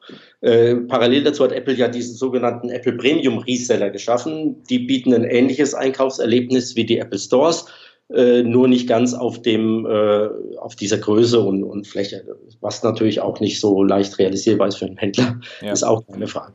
Ähm, daneben haben wir natürlich äh, die Apple Authorized Reseller, das sind die Händler, die Know-how haben. Also bald es einfach über die Beschaffung von Ware und zur Kasse gehen hinausgeht, sind das die Ansprechpartner. Wo es um äh, Menschen geht, die mit ihrem Rechner äh, ihr Geld verdienen äh, um Konzerne, um mittlere und kleinere Unternehmen. Da sind die Händler natürlich äh, gegenüber Apple äh, deutlich im Vorteil, beziehungsweise im Vorteil. Apple ist in diesem Geschäft weniger aktiv oder bis gar nicht aktiv. Das heißt, hier haben die Händler einen großen Freiraum und können sich gut entfalten. Ähm, das heißt, ich genieße dann vermutlich den Vorteil, dass ich dann bei euch so kom komplett Lösung dann ähm, eher einkaufen kann als bei Apple. Ich meine, klar, wenn ich, es ging ja vor ein paar Jahren, ähm, drauf, wenn, wenn ich Axel, die Axel Springer AG bin und sage, ich brauche hier mal 13.000 Mitarbeiter mit Macs ausgestattet, dann gehe ich wahrscheinlich weiter zu Apple. Aber als, ähm, so ich sag mal, normaler Mittelständler bin ich dann bei euch besser aufgehoben? Ich würde sagen, selbst dieser Weg ist von Apple gar nicht mehr jetzt so, dass die Axel Springer AG unbedingt jetzt äh, bei Apple kauft. Die kauft, ich weiß nicht, wo sie derzeit kaufen, keine Ahnung. Äh, aber ich gehe davon aus, dass es beim Händler sogar ist in dem Fall. Ähm, wir haben natürlich kompletten Zugriff auf das Sortiment, was es an Ware in Deutschland gibt. Apple als Retail-Organisation, äh, die Apple Stores, äh, haben natürlich ein definiertes Segment. Ist im Retail ja normal. Ich habe den die Anbieter. Aber wenn der Kunde zu uns kommt, ich hätte gern den Monitor von Yama oder ich hätte gern den, dann kann er den auch haben. Hm? Was im Apple Store ja so nicht möglich ist. Die haben ihr Sortimentende. Ja. Das ist tatsächlich auch, das ist nichts, wo, wo Apple einen dann also einschränkt. Also wenn ich jetzt irgendwie Apple Premium Reseller sein möchte, ähm, dann kriege ich keinen kein Katalog ausgedruckt von Apple, wo drin steht, hier, das kannst du anbieten, sondern ich habe da weiterhin meine Freiheiten. Ich habe alle Freiheiten, was der Markt äh, mir zur Verfügung stellt, ja. Was tatsächlich ja spannend ist, weil also ich hatte bisher immer so die Vorstellung, ähm, dass, dass Apple auch da auf das Sortiment einen, einen deutlich, deutlich mehr den Daumen drauf hat und vielleicht auch einfach gar nicht möchte, dass dann da äh, Produkte von möglichen Konkurrenzfirmen im selben Laden vertrieben werden oder so. Äh, Vertrieb ist die eine Definition, das, es geht um die Ausstellung ist es natürlich ah, nicht erlaubt, auf, okay. den, äh, auf den Möbeln von Apple, was ja auch Sinn macht. Hier ist, äh, besteht ein gewiss, ist jedem wahrscheinlich schon aufgefallen, die haben unterschiedliche Farben. Es gibt ja. äh, graue und es gibt weiße und auf weißen sind nur die Apple-Produkte, auf grauen hat man Möglichkeit, andere äh, Hersteller mit abzubilden, die als Ergänzung zu den Apple-Produkten gelten. Aber rein vertriebstechnisch kann, äh, kann natürlich auch jedes andere Produkt äh, vertrieben werden. Es darf halt nur nicht auf diesen Möbeln ausgestellt werden. Wenn du an dem ganzen Konstrukt, was es so gibt, ähm, wenn du so ein bisschen Wunschkonzert spielen dürftest, was, was würdest du am liebsten ändern oder verbessern für, für, für dich und für euch? Ja, das ist schwierig. Also ich sage mal, es ist wirklich schwierig, äh, weil jedes Wunschkonzert wird, äh, wird irgendwann dazu führen, dass es äh, dass es wieder auf demselben Level landen wird, weil ähm, der Markt entwickelt sich ähm, und sucht seine Möglichkeiten. Das heißt, wenn ich jetzt sage, okay, wir natürlich, wir müssen alle Händler stärken und, und, und, dann wird es dazu führen, dass die Händler irgendwann, dass es immer mehr Händler geben wird und dann wird die Konkurrenz daherkommen. Also ich sage, mit der momentanen Situation sind wir grundsätzlich gar nicht so äh, unzufrieden, weil Apple regelt immer noch den Zugang zum Markt in irgendeiner Form durch Autorisierung und es ist kein, kein ganz wildes äh, Hauen und Stechen. Hm. Also ich habe da keine, keine speziellen Wünsche. Ich würde mir natürlich immer eine Stärkung des, äh, des äh, klassischen Kanals, Händlerkanals äh, wünschen, aber ich habe natürlich auch Verständnis dafür, dass es andere Bezugswege von Produkten, die Retail-affin sind, wo auch Volumen gemacht werden muss, die Händler einfach nicht schaffen. Ja, also da habe ich durchaus Verständnis dafür, dass man andere Vertriebswege hier auch sucht. Ist, wenn ich ähm, als, als allgemein, so als, ich sag mal, als Elektronikhändler Apple im Sortiment habe und da auch drauf setze, ist das nach wie vor so, ein, so eine Art Garant für, für, für meine Existenz, weil das Produkte sind, die Menschen sehen wollen und halt dann vielleicht doch nicht online kaufen? Oder ist der Onlinehandel das, was irgendwie am, am meisten drückt? Gut, wir haben äh, im Apple-Markt einen Onlinehandel. Ich meine, die, die, die die Handelsmarge ist für, für Apple-Produkte wie IT äh, generell, würde ich sagen, äh, relativ äh, dünn. Natürlich hat der Onlinehandel äh, aufgrund der Kostenstrukturen bessere Möglichkeiten zu kalkulieren und bessere Preise zu machen. Das ist klar und das drückt auch und das ist ein Wettbewerb, dem man sich stellen muss. Da, da führt kein Weg äh, äh, daran vorbei. Ich meine, Retail oder alles, was stationär äh, Handel betreibt, hat hohe Kosten und kann eigentlich von dem empfohlenen VK nur bedingt äh, abweichen. Mhm. Ähm, aber so ein, ein, ein großer Punkt oder ein großes Plus, was ihr habt gegenüber dem Onlinehandel oder gegen den klassischen Onlinehandel, sage ich mal, oder auch gegenüber dem Einkauf bei Apple im, im, im Online-Shop selbst, ähm, ihr macht relativ viele Veranstaltungen auch für Privatkunden in den einzelnen ähm, Läden. Ähm, was, was, erwartet mich da so?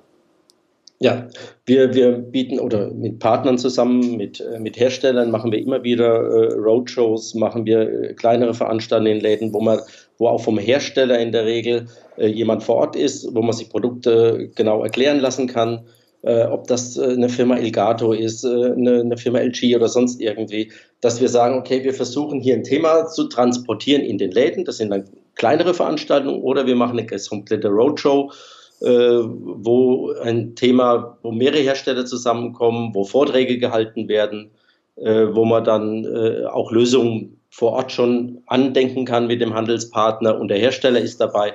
Also hier kann man verschiedene äh, Dinge schon gestalten und äh, ich denke, wir sind da gut aufgestellt und das Veranstaltungsthema ist immer auch ein schwieriges Thema, weil mal finden die Hersteller Veranstaltungen gut und dann kommt wieder ein Jahr, wo sie sie weniger gut finden. Aber äh, in der Regel äh, geht es mal so hin und her. Weniger gut, weil es auch Aufwand bedeutet oder äh, ist es eher ein Finanzierungsproblem dann? Es ist natürlich ein Finanzierungsproblem. Hier bei so einer Veranstaltung entstehen Kosten und das muss irgendjemand mitfinanzieren. Und hier äh, versuchen wir natürlich die Hersteller mit an Bord zu nehmen. Ähm, bietet ihr auch so, ich sag mal, so Lehrveranstaltungen an? Also ich meine, ich kenne die Roadshows von euch, da auch schon ja. mehr von teilgenommen.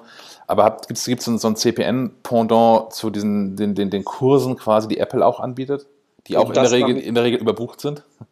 Äh, das machen die Händler fort. Also hier mischen wir uns nicht ein. Wir wissen, dass einige Kollegen solche äh, Kurse machen, ja. wo der Kunde sich reinsetzen kann und kann ganz individuell sein Thema äh, mit Face-to-Face -face, besprechen. Und, und das, ich sitze ja in Würzburg, ich sehe das ja. immer dann, ich laufe da immer an, den, an dem Kursraum vorbei und sehe, wie die Leute dann ihre Schulungen bekommen. Individuell was ich auch nach wie vor tatsächlich klasse finde. Ähm, natürlich ist es mir noch lieber, wenn die Menschen unser Heft kaufen und, und da was drin lernen. aber aber im Grunde ist es ja, aber Apple ist da auch die, die einzige Marke, bei der mir das so auffällt. Das mag auch sein, dass ich dann da vielleicht äh, ein bisschen betriebsblind bin, aber das ist so eine, ähm, ja, das ist keine echte Szene, aber dass es ähm, überhaupt so herstellerspezifische Veranstaltungen gibt, wo auch normale Menschen freiwillig hingehen ähm, Kenne ich sonst von, von nirgendwo her. Äh, nein, das, das, das, das, wüsste ich jetzt auch nicht, dass in anderen Bereichen das gibt, vor allem für Konsumenten nicht.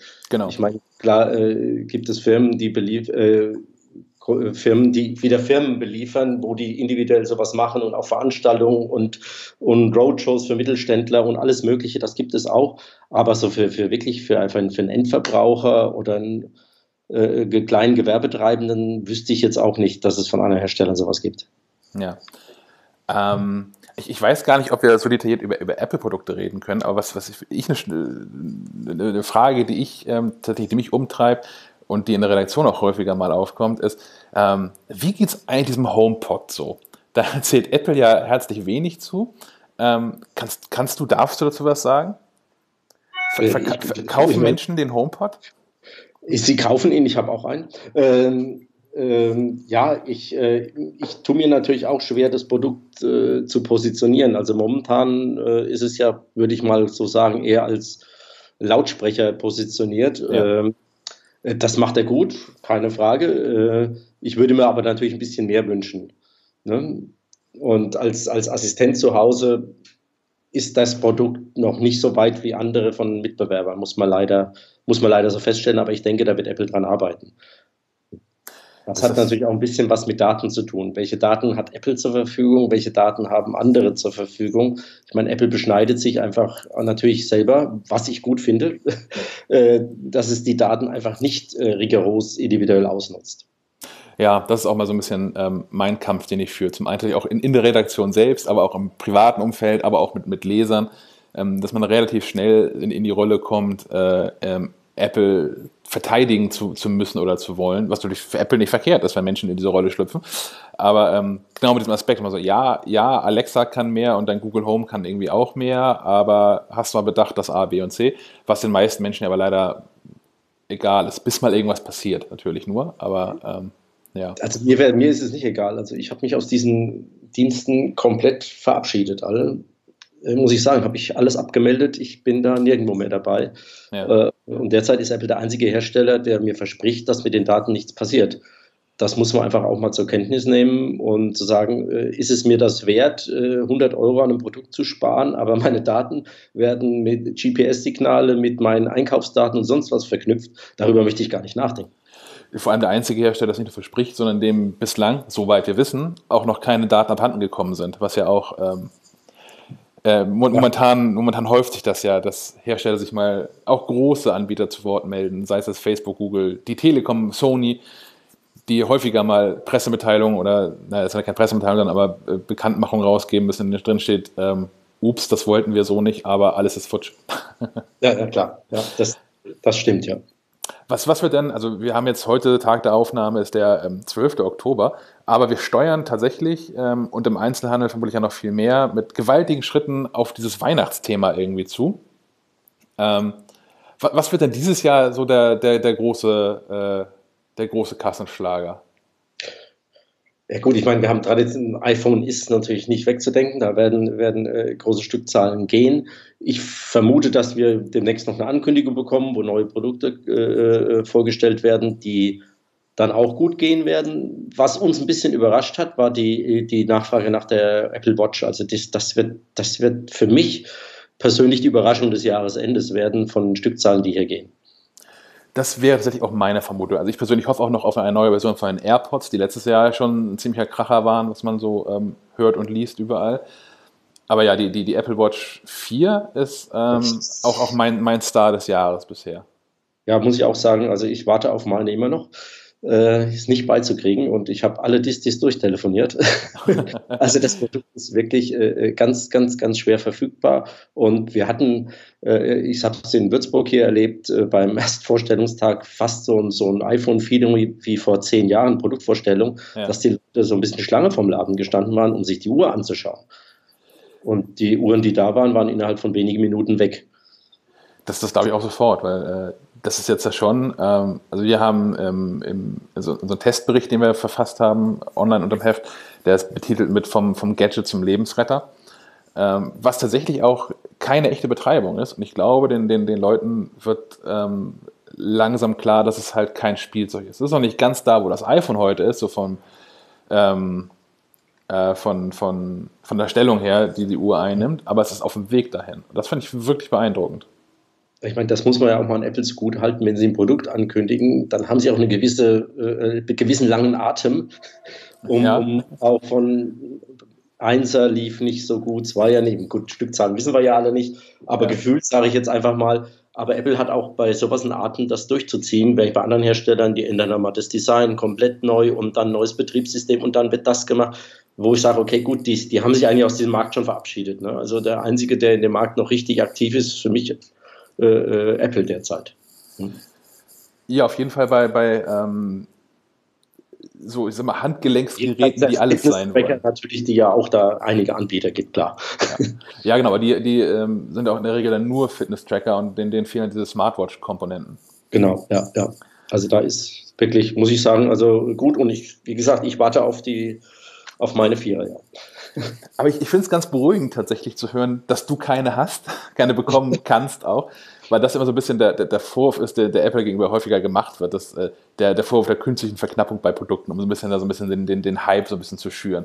Was ich persönlich immer für Quatsch gehalten habe, weil äh, wenn man Produkte auf den Markt bringt, geht uns ja genauso mit, mit, mit Magazin. Ja. Ähm, ich bin doch froh, wenn Leute den ganzen Kram haben wollen und versuche auch so, solange da irgendwie äh, der ähm, der, der, der Kaufwunsch da ist, so viele Menschen ähm, abzuspeisen, wie es irgendwie geht und so viel mitzunehmen, wie irgendwie geht. Aber es hält sich ja hartnäckig, dass Apple das künstlich verknappt. Aber wenn, wenn, wenn selbst du, der ja nun an mehreren Quellen quasi sitzt, äh, warten musst, das finde ich recht beruhigend. ja, es ist, ich sag mal, es gibt, es, äh, ich meine, Apple steuert natürlich die Produktmenge, die im Markt ist. Einfach auch zum, einfach um, um äh, eine Überversorgung zu verhindern und teure Abschreibungen zu machen. Kann ich nachvollziehen, ist eine unternehmerische Entscheidung. Das macht Apple schon seit boah, wirklich ein paar Jahrzehnten so und ist am Ende auch erfolgreich, weil sie selten äh, äh Produkte groß abwerten müssen und damit irgendwie auch äh, den Wert für den Kunden mindern. Ich meine, wenn irgendwann äh, das iPhone nur noch die Hälfte kostet, so vier Wochen nach Markteinführung, dann macht es als Kunde auch keinen Spaß. Dann fühle ich mich als Kunde auch nicht mehr wohl. Äh, und Apple sorgt wirklich dafür, dass die Preise Produktbeginn bis Ende des Zyklus konstant bleiben. Ja. Also Preissenkungen im Apple-Markt, also selbst in meiner langen Zeit, wie wir vorhin schon hatten, seltenst. Ganz und, selten. Und dann immer begleitet mit einem großen Aufschrei. Ich meine, ich, war es das erste iPhone oder das, das 3G, was sie nach einem halben Jahr für 100 Euro weniger angeboten haben? Ähm, ja. Da war ja irgendwie auch mal dann, also da ist ja auch sofort das, bei keinem anderen Händler stört das irgendwen. Also auch wenn ich jetzt irgendwie zum, zum Mediamarkt gehe und für den für denselben Preis, den ein iPhone kostet, mir irgendwie einen Fernseher kauft und der kostet nur drei Tage später in der Regel schon einfach wieder was anderes. Das stört niemanden, aber ähm, Apple hat da, glaube ich, also auch weil sie diesen Nimbus ja selbst auch ähm, pflegen und versuchen zu halten, wo es nur geht, von, Ja. von Preis und Wertstabilität. Ja, das ist einfach, das machen sie seit Jahren, das machen sie auch gut und ich finde es als Verbraucher einfach als wirklich auch gut für, für mich. Ne, die Produkte haben einfach noch einen gewissen Wert nach ihrer Zeit und ich kann ein iPhone, was vier Jahre alt ist, immer noch für einen vernünftigen Wert äh, äh, verkaufen.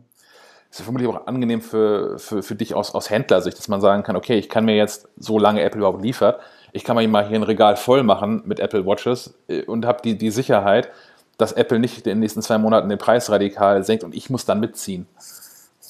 Genau, das ist einfach die Sicherheit, die einzige Periode, wo man ein bisschen ins Schwimmen kommt, wenn man, wenn so, wenn so äh, Termine nahen. Ja. ne, so neue Ankündigungstermine, dann, dann muss man natürlich ein bisschen vorsichtig im Bestand sein, ne, weil wir bekommen dann auch, wir bekommen zwar irgendwo, äh, wird das dann irgendwo ausgeglichen, aber das ist nicht, so, nicht allzu viel. Ob das für den Kunden attraktiv ist, wissen wir vorher nicht und ist auch ein Prozess, der sich durchaus über mehrere Wochen hinziehen kann. Ähm, ist es denn so, ähm, dass, dass du da oder der Händler so ein bisschen auf Termine achten muss und kalkulieren muss, was er bestellt? Oder ist das so, dass, dass, dass Apple das hintenrum, ohne das laut zu sagen, schon so ein bisschen steuert, indem sie sagen, auch hier MacBook Air ist gerade schwierig verfügbar? Äh, Beides. Also ich meine, wenn Produkte schwierig verfügbar ist, könnte man könnte man den Eindruck gewinnen, aha, es gibt was Neues. Aber es ist öfters mal, das Produkt nicht verfügbar ist und es kommt trotzdem nichts Neues. Aber es ist schon ein Signal dafür, schwere Verfügbarkeit und der Zeitpunkt passt, dass hier was Neues kommt. Ja, ja. Ich meine, letztes ist natürlich auch in den letzten Jahren ähm, so für, die, für die großen Produkte ist es relativ gut planbar gewesen, wann welche Neuerungen kommen. Genau. Also bei, bei iPhone ist ja kein Geheimnis, wann das jetzt ist. Richtig, und ne, also da, das weiß jeder jedes Jahr und kann sich darauf einstellen. Äh, das ist jetzt nichts Besonderes. Aber bei, dem, bei den äh, Macs und so ist es schon deutlich schwieriger. Ne, wo wir sagen, okay, was kommt? Äh, ist das alte interessant? Ist es nicht mehr interessant? Also da gibt es viele Dinge, die man abwägen muss. Wir haben auch gegen, im Gegensatz zu vielen äh, Meinungen, die draußen herrschen, wir haben auch keine Ahnung, was kommt. Wir lesen genauso die Gerüchte, die es gibt und man liest ja mehr Gerüchte, als dann wirklich passiert. Von daher weiß man nicht, Ja. welches Gerücht stimmt jetzt dann. Ne, man weiß irgendwo, ja, es wird wohl irgendwas davon stimmen, aber man kann es nicht genauer einschätzen. Okay, das heißt, du kannst mir auch nicht sagen, äh, und unter der Hand quasi, ob, es, ob es sich lohnt, auf den neuen Mac Mini zu hoffen. Interessantes Produkt, ja. Also ich meine, bei dem kann man schon immer sehr lange hoffen. Ja. Ja. Ach, tatsächlich, ich traue dem so ein bisschen nach. Also ich, ich glaube persönlich auch nicht mehr daran, dass da noch eine neue Version von kommt, aber äh, ich traue dem so ein bisschen nach, weil, weil das so mein, mein echter Einstieg in, in die Apple-Welt war. Ich habe vorher mal mit alten Geräten, so die in der Familie weitergereicht worden sind, äh, hantiert und äh, das erste echte eigene Produkt war 2001 oder Anfang 2002 der, der erste iPod. Aber so der, der Mac Mini war mein, mein, erstes, mein erster neuer Apple, den ich selbst bei Apple gekauft habe für ein Schweinegeld. Ähm, deswegen finde ich es ein bisschen schade, wenn der jetzt so äh, ganz aus der Tür verschwindet, aber Ich, ich kann es dir nicht sagen, keine Ahnung. Also nee, hätte ich auch nicht erwartet ich tatsächlich. sag dir jetzt auch nicht, was mein erstes Apple-Produkt war, das wirst du nicht mal kennen. Ach, kennen, kennen würde ich nicht ausschließen, aber vielleicht habe ich es nicht benutzt. Es war ein E SE30. Nein, den habe ich nicht benutzt. ähm, Reinhard, haben, haben wir noch irgendwas vergessen, über das wir dringend reden müssen? Äh, ja, ich, genau, ich wollte nur mal sagen, okay, äh, weil wir sind ja jetzt doch viel über Apple und wichtig ist mir nochmal auch rüberzubringen, äh, dass äh, wir hatten jetzt qua- quasi nochmal eine große Veranstaltung Ende September mit unseren Partnern, die Ignition, Ja. die 27. Ignition. Das heißt, hier haben wir uns in Fulda in einem Hotel getroffen mit Herstellern, 40 Aussteller. Unsere Partner waren größtenteils anwesend. Hier haben wir verschiedene Gruppen im Systemhausbereich. Äh, wir haben die APRs. Wir, haben, äh, wir treffen uns mit den Geschäftsführern und versuchen zu hören von unseren Partnern, was wünschen sie, was sollen wir für Dienstleistungen ihnen anbieten, was ist nachgefragt. Und das ist immer ein reger Erfahrungsaustausch. Das ist gut für die Händler, weil sie kriegen mit, was macht der Kollege, habe ich irgendeinen Trend vielleicht sogar verpasst und irgend, äh, irgendeiner anderen Stadt hat einer irgendwie eine geniale Idee gehabt und verdient sich eine goldene Nase. Solche Dinge äh, machen wir jährlich, in, äh, was heißt, machen wir Anfangs sogar halbjährlich. Inzwischen sind wir auf einen jährlichen Rhythmus übergegangen, sind ganz große Veranstaltungen und äh, wird immer gern von den Partnern genutzt und auch von den Herstellern, um ihre Produkte dem Partner nahezubringen. Das heißt, ihr habt eure, äh, eure Händler sind auch tatsächlich eher so, haben so, so ein Community-Gefühl. Ja. Das ist, Das ist nicht so, dass man sich da, äh, also man, man, man, kommt, man kommt zusammen und spricht miteinander und versucht nicht nur sich gegenseitig auszustechen, sondern wir haben, wir haben hier eine hohe, hohe Quote mit der Teilnahme. Wir liegen bei, bei 80 Prozent. Es kann immer mal einer nicht, weil Urlaub, weil sonst klar, irgendwas. Ja. Aber viele klagen ja, dass sie ihre Veranstaltungen nicht, nicht äh, voll bekommen. Aber wir haben da überhaupt kein, kein, kein Problem damit, die voll zu bekommen. Und sie wird auch immer von den Herstellern als, als sehr gut angesehen, äh, wo sie sagen, okay, das macht Spaß, äh, wir sind gerne da. Und reservieren dann schon fürs nächste Jahr. Das ist natürlich, besser geht es natürlich nicht, ja, wenn Leute schon äh, quasi beim, beim, beim Rausgehen das Ticket fürs nächste Jahr lösen. Genau. Gut. Ähm, die Ignition ist aber ist eine reine Händlerveranstaltung. Da kann ich als interessierte Privatperson kann da nicht mit auftauchen, ne? Nein, sonst, äh, sonst bräuchte man noch größere Hotels und das geht ja nicht. Naja, vielleicht, vielleicht muss man raus aus Fulda dann. ja, Gut. War jetzt letztes Jahr Fulda, wir sind jetzt nächstes Jahr woanders ist aber noch nicht, noch nicht fixiert, deswegen kann ich dazu noch nichts sagen. Okay, also noch nicht fixiert im Sinne von äh, noch nicht gebucht oder einfach nur noch, noch geheim? Noch nicht, noch nicht final gebucht, ja. Ah, okay, gut. ähm, ja, mein, meine, meine Frage haben Sie soweit erschöpft. Ähm, wir haben noch über Ignition kurz geredet. Ähm, wenn du nicht noch irgendwas auf dem Herzen hast, äh, würde ich mich an der Stelle bedanken für das Gespräch. Ich bedanke mich für das Interview. Hat Spaß gemacht. Mir auch, ja, ja. Ich habe was gelernt, also nicht nur über das neue Verpackungsgesetz, sondern auch so ein bisschen darüber, ähm, wie, wie so der, der Apple-Handel eigentlich funktioniert, was die Vorteile so sind ähm, am, am CPN an sich, ähm, welche, welche Vorteile die dann teilnehmenden Läden, aber auch für mich als äh, Geschäfts- oder Privatkunden bieten. Und ähm, hoffe, dass auch äh, unsere Hörer damit äh, neuem Wissen jetzt aus diesem Gespräch rausgehen. Aber ich glaube, da war für jeden was dabei. Okay, prima. Ich danke dir vielmals, ja. wünsche noch einen schönen Tag. Wünsche ich dir auch. Und dann bestimmt bis zum nächsten Mal. Bis zum nächsten Mal. Danke dir. Ne? Jo. Ciao. Das war das Gespräch mit Reinhold Gatzka. Ich hoffe, ihr habt ähm, ähnlich viel gelernt wie ich darüber, ähm, was der, der, Job, den er da so hat, äh, so alles mit sich bringt. Ähm, was an der Stelle nicht unerwähnt bleiben soll und darf, ist auch, ähm, dass wir uns bei CPN bedanken, die diese Episode von Steifen Quadrat äh, freundlicherweise unterstützen. Ähm, wen wir vielleicht nicht mehr länger unterstützen, ist Facebook, weil Facebook hat jede Menge Daten verloren. Unter anderem, ähm, diesmal tatsächlich auch meine. Der König der Überleitungen. Ich gebe mir Mühe. Ich gebe mir Mühe. Ja, du bist, du bist einer der Betroffenen. Du bist im, im Club dabei. Ja, ich, ich warte auch täglich. Erzähl, dass, wie ist es? Wie, wie fühlt es sich an?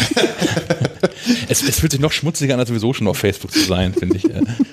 Und, äh, ja, ich, ich finde das auch insgesamt. Ähm, also möchte erstmal jemand erzählen, was passiert ist vielleicht? Äh, ja, ich, ich, wir haben vorhin schon mit Zahlen jongliert. Ich glaube, die, die stimmen schon gar nicht mehr, die ich da im Kopf hatte. Also Facebook hat wohl für rund 30 Millionen Nutzer Daten über drei Sicherheitslücken. Ich glaube, es waren insgesamt drei, die zu verschiedenen Schwierigkeiten führten. Äh, ja, an, an äh, unerlaubt verloren an andere Nutzer, die das abgefischt haben. Ähm, und da waren teilweise relativ wichtige Daten dabei, wie Religionszugehörigkeit, Geschlecht, äh, Alter ähm, und teilweise auch Telefonnummern und solche Späße. Ähm, 30 Millionen ist meine Zahl, die ich im Kopf habe. Vielleicht ist es inzwischen auch schon mehr, weil auch noch nicht ganz klar war, wie lange diese Sicherheitslücken auch ausgenutzt wurden. Es ist erst aufgefallen, weil im September eine relativ große Attacke auf diese Sicherheitslücken stattgefunden hat. Und da hat dann Facebook bemerkt, dass da was nicht stimmt. Es wird sogar geschätzt 50, 50. bis 90 Millionen. Ja, siehst du. Wie haben Sie die denn verloren? Äh, über eine Funktion, also eine der Fehler war, dass es eine Funktion gibt, bei der du dir ein Profil so angucken kannst. Wie, wie, wie heißt das? Wie, anzeigen als oder so, ne? Genau, anzeigen als. Ähm, du kannst dir anzeigen, wie dein Profil von jemand anderem gesehen werden würde, wenn der auf dein Profil gehen würde. So. Ähm, das Problem ist, dass dabei ein, wohl ein Token erstellt wird, also eine Art Passwort und damit es wohl dann auch möglich war, dieses Profil so aufzurufen, wie wenn der Besitzer das Profil aufrufen würde. Und damit sind dann natürlich sämtliche Privatsphäre-Einstellungen hinüber und ähm, ja, man kann all das machen, was der Nutzer auch hätte machen können. Und da kommt auch gar nicht so wenig bei weg von. Also es gibt, also Facebook, das finde ich tatsächlich auch ein bisschen frech. Äh, Facebook weiß, dass ich betroffen bin, informiert mich da aber nicht persönlich drüber. Also weder per Mail noch per Facebook-Nachricht, nicht mal über, über ihren Messenger oder irgendwie sowas. Ähm, ich habe tatsächlich, ähm, auf maclife.de habe ich da zuerst davon gelesen, dass es so eine Hilfecenter-Seite gibt, die wir auch verlinken, wo man sich angucken kann, ob man betroffen ist. Und ähm, das hat die schöne Überschrift, Is my Facebook account impacted by the security issue? Hat die, hat die bei dir rot geleuchtet oder so? Nein. Weil ich, ich war da dreimal drauf und dachte, ja, und nu? Ich hatte keine Lust mehr, den ganzen Text durchzulesen. Und ganz unten steht so ein Ganz unten kleiner, musst du scrollen, genau. steht so ein kleiner Kasten. Ja, übrigens, alles gut bei dir. Ja, es, es, sei denn, es sei denn, du bist betroffen. Dann kommt ein großer das ist, Kasten. ein, großer, das ist ein, ein, ein, ein großer hellblauer Kasten, Ah. der auch kaum zu erkennen ist, wo sie aber immerhin auflisten, was so alles weggekommen ist. Und das ist gar nicht so wenig, denn ähm, Ist das denn bei jedem gleich oder ist das Nee, individu individuell gestaltet? das ist wohl individuell, ja, oh, tatsächlich. ein Traum. Also Können wir noch, noch einen Club aufmachen? Ja, aber einmal, einmal um das der Vollständigkeit halber. Dinge, die da so wegkommen, sind ähm, das, was Sie nach dem aktuellen Stand der Ermittlungen, wie drüber steht, wissen. Äh, Name, Mailadresse und die zuletzt hinzugefügte Telefonnummer. Dann gibt es aber den Punkt darunter, Additionally, the attackers also accessed other account information, including Benutzername, Geburtsdatum, Geschlecht, Geräte, mit denen man Facebook nutzt und die Sprache, die man eingestellt hat. Und dann kommt der Punkt, den ich wirklich spannend finde. Da steht nämlich, if you previously added this specific information to your Facebook account, it was also accessed. Also wenn ich vorher schon mal Informationen eingetragen habe, da unter Umständen jetzt aber keine Informationen mehr drin stehen in den jeweiligen Feldern. Nämlich Beziehungsstatus, Religion, Heimatstadt, aktuelle Stadt, ähm, Arbeitsplatz, Ausbildungsinformation und ähm, Webseiten, falls ich welche angegeben habe. Was haben die denn nicht gekriegt? Wenig, also Messenger-Daten tatsächlich wohl nicht. Oh. Aber was mich tatsächlich Nein. irritiert ist, so eine, so eine Nummer wie ähm, äh, Relationship Status zum Beispiel oder Religion. Wenn das Felder sind, die jetzt leer sind, wo ich jetzt nichts eingetragen habe, sagt man doch aber diese Meldung, if you previously added this specific information, ähm, dass die offensichtlich da immer noch irgendwo drin sind und auch erreichbar waren für die Menschen, die da irgendwie ähm, Angreifer sind. Ja, Ähm, Facebook, die nur ausgeblendet. Wird Ne? ein Standardhinweis sein. Ne? Ich weiß nicht, also so wie die da aktuell auch eine Welle schieben und auch zu Recht mit DSGVO und Konsorten vermutlich auch, da werden Juristen Angst haben, hoffentlich. Ähm, ich weiß nicht, ob die da irgendwie mehr drin anzeigen würden als, also ich habe auch andere Leute ge ge gefunden online, war nicht so schwer, die auch betroffen sind und die haben teilweise eine andere Auflistung von Punkten. Also ich bin jetzt, äh, also herzliches Beileid, dass du betroffen bist, aber ich bin jetzt im Moment noch nicht so ganz geschockt von den Daten, die bei dir flöten gegangen sind. Ähm, ich, ich insofern auch nicht, als dass ich ähm, sowieso alle Daten, die ich jemals in Facebook habe, als, als öffentlich betrachte. Ja. So, weil mir ist klar, die werden irgendwie wegkommen, alle verlieren ständig irgendwelche Informationen und Facebook ist dafür prädestiniert, weil die mit den Daten ja auch irgendwie handeln. Ähm, was ja tatsächlich schon mal dann, es geht auch noch weiter, ist ja nicht alles. Was sind noch ein paar drei andere Sachen verloren gegangen. Ah, Ähm, people or pages you follow on Facebook. Okay, Mhm. geschenkt, das ist bei mir Okay. ohnehin öffentlich. Mhm. Ähm, dann gibt es noch the 10 most recent locations you've checked into or been tagged in. Also wo mich andere Leute verortet haben. Ähm, kann interessant sein. Jetzt ist mein Lebenswandel nicht so unfassbar aufregend. Und das kommt, es kommt, wenn überhaupt, ich nutze das, dieses Feature überhaupt gar nicht. Andere nutzen das, ver vertaggen mich in irgendwelchen Fotos. Das sind in der Regel dann irgendwelche Kneipen, Restaurants, Sportcenter, Aktivitätsdingsies. Und nicht irgendwie, keine Ahnung, Bordelle oder so, wo es interessant werden würde, vielleicht auch. Ähm, und dann gibt es noch den Punkt, ähm, the 15 most recent searches you've entered into the Facebook Search Bar. Das kann, denke ich, für Menschen unangenehm werden. Ich habe da jetzt auch keine größere Sorge, aber je nachdem, was man da so sucht und keine Ahnung.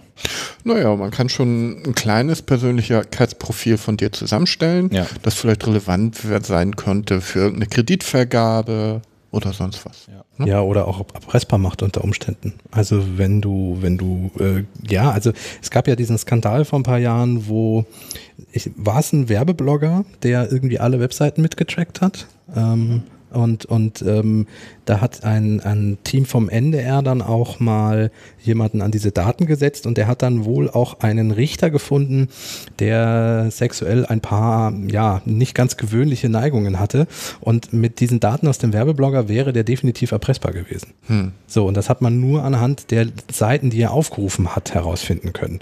Ähm, was der Mann beruflich macht, weil er nämlich sein persönliches Facebook-Profil aufgerufen hat, also wer er ist, ähm, als er nämlich sein persönliches Berufs-, sein Profil aufgerufen hat, dann als er äh, die entsprechenden Seiten aufgerufen hat, äh, die, die nicht unbedingt jeder sehen muss und äh, als er dann eine neue Richterrobe noch bestellt hat über eine Webseite, äh, sind die Leute drauf gekommen, oh, vielleicht ist das ein Kandidat, den wir mal interessanterweise ein bisschen mehr durchleuchten. Richterroben24.de. Genau.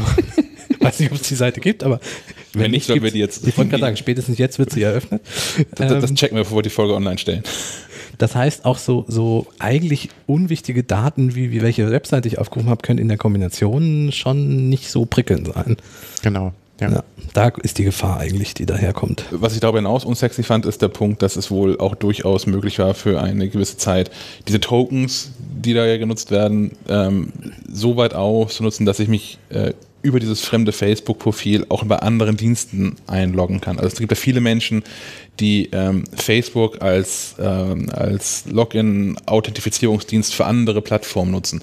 Und dann wird es wirklich, wirklich eklig, wenn dann jemand ähm, über diesen Bug in Facebook auf einmal auch Zugriff hat auf mein, auf mein Spotify-Konto, auf mein Tinder-Konto, auf GitHub, was auch immer es so alles Lustiges geben mag, wo man Facebook sich mit einloggt.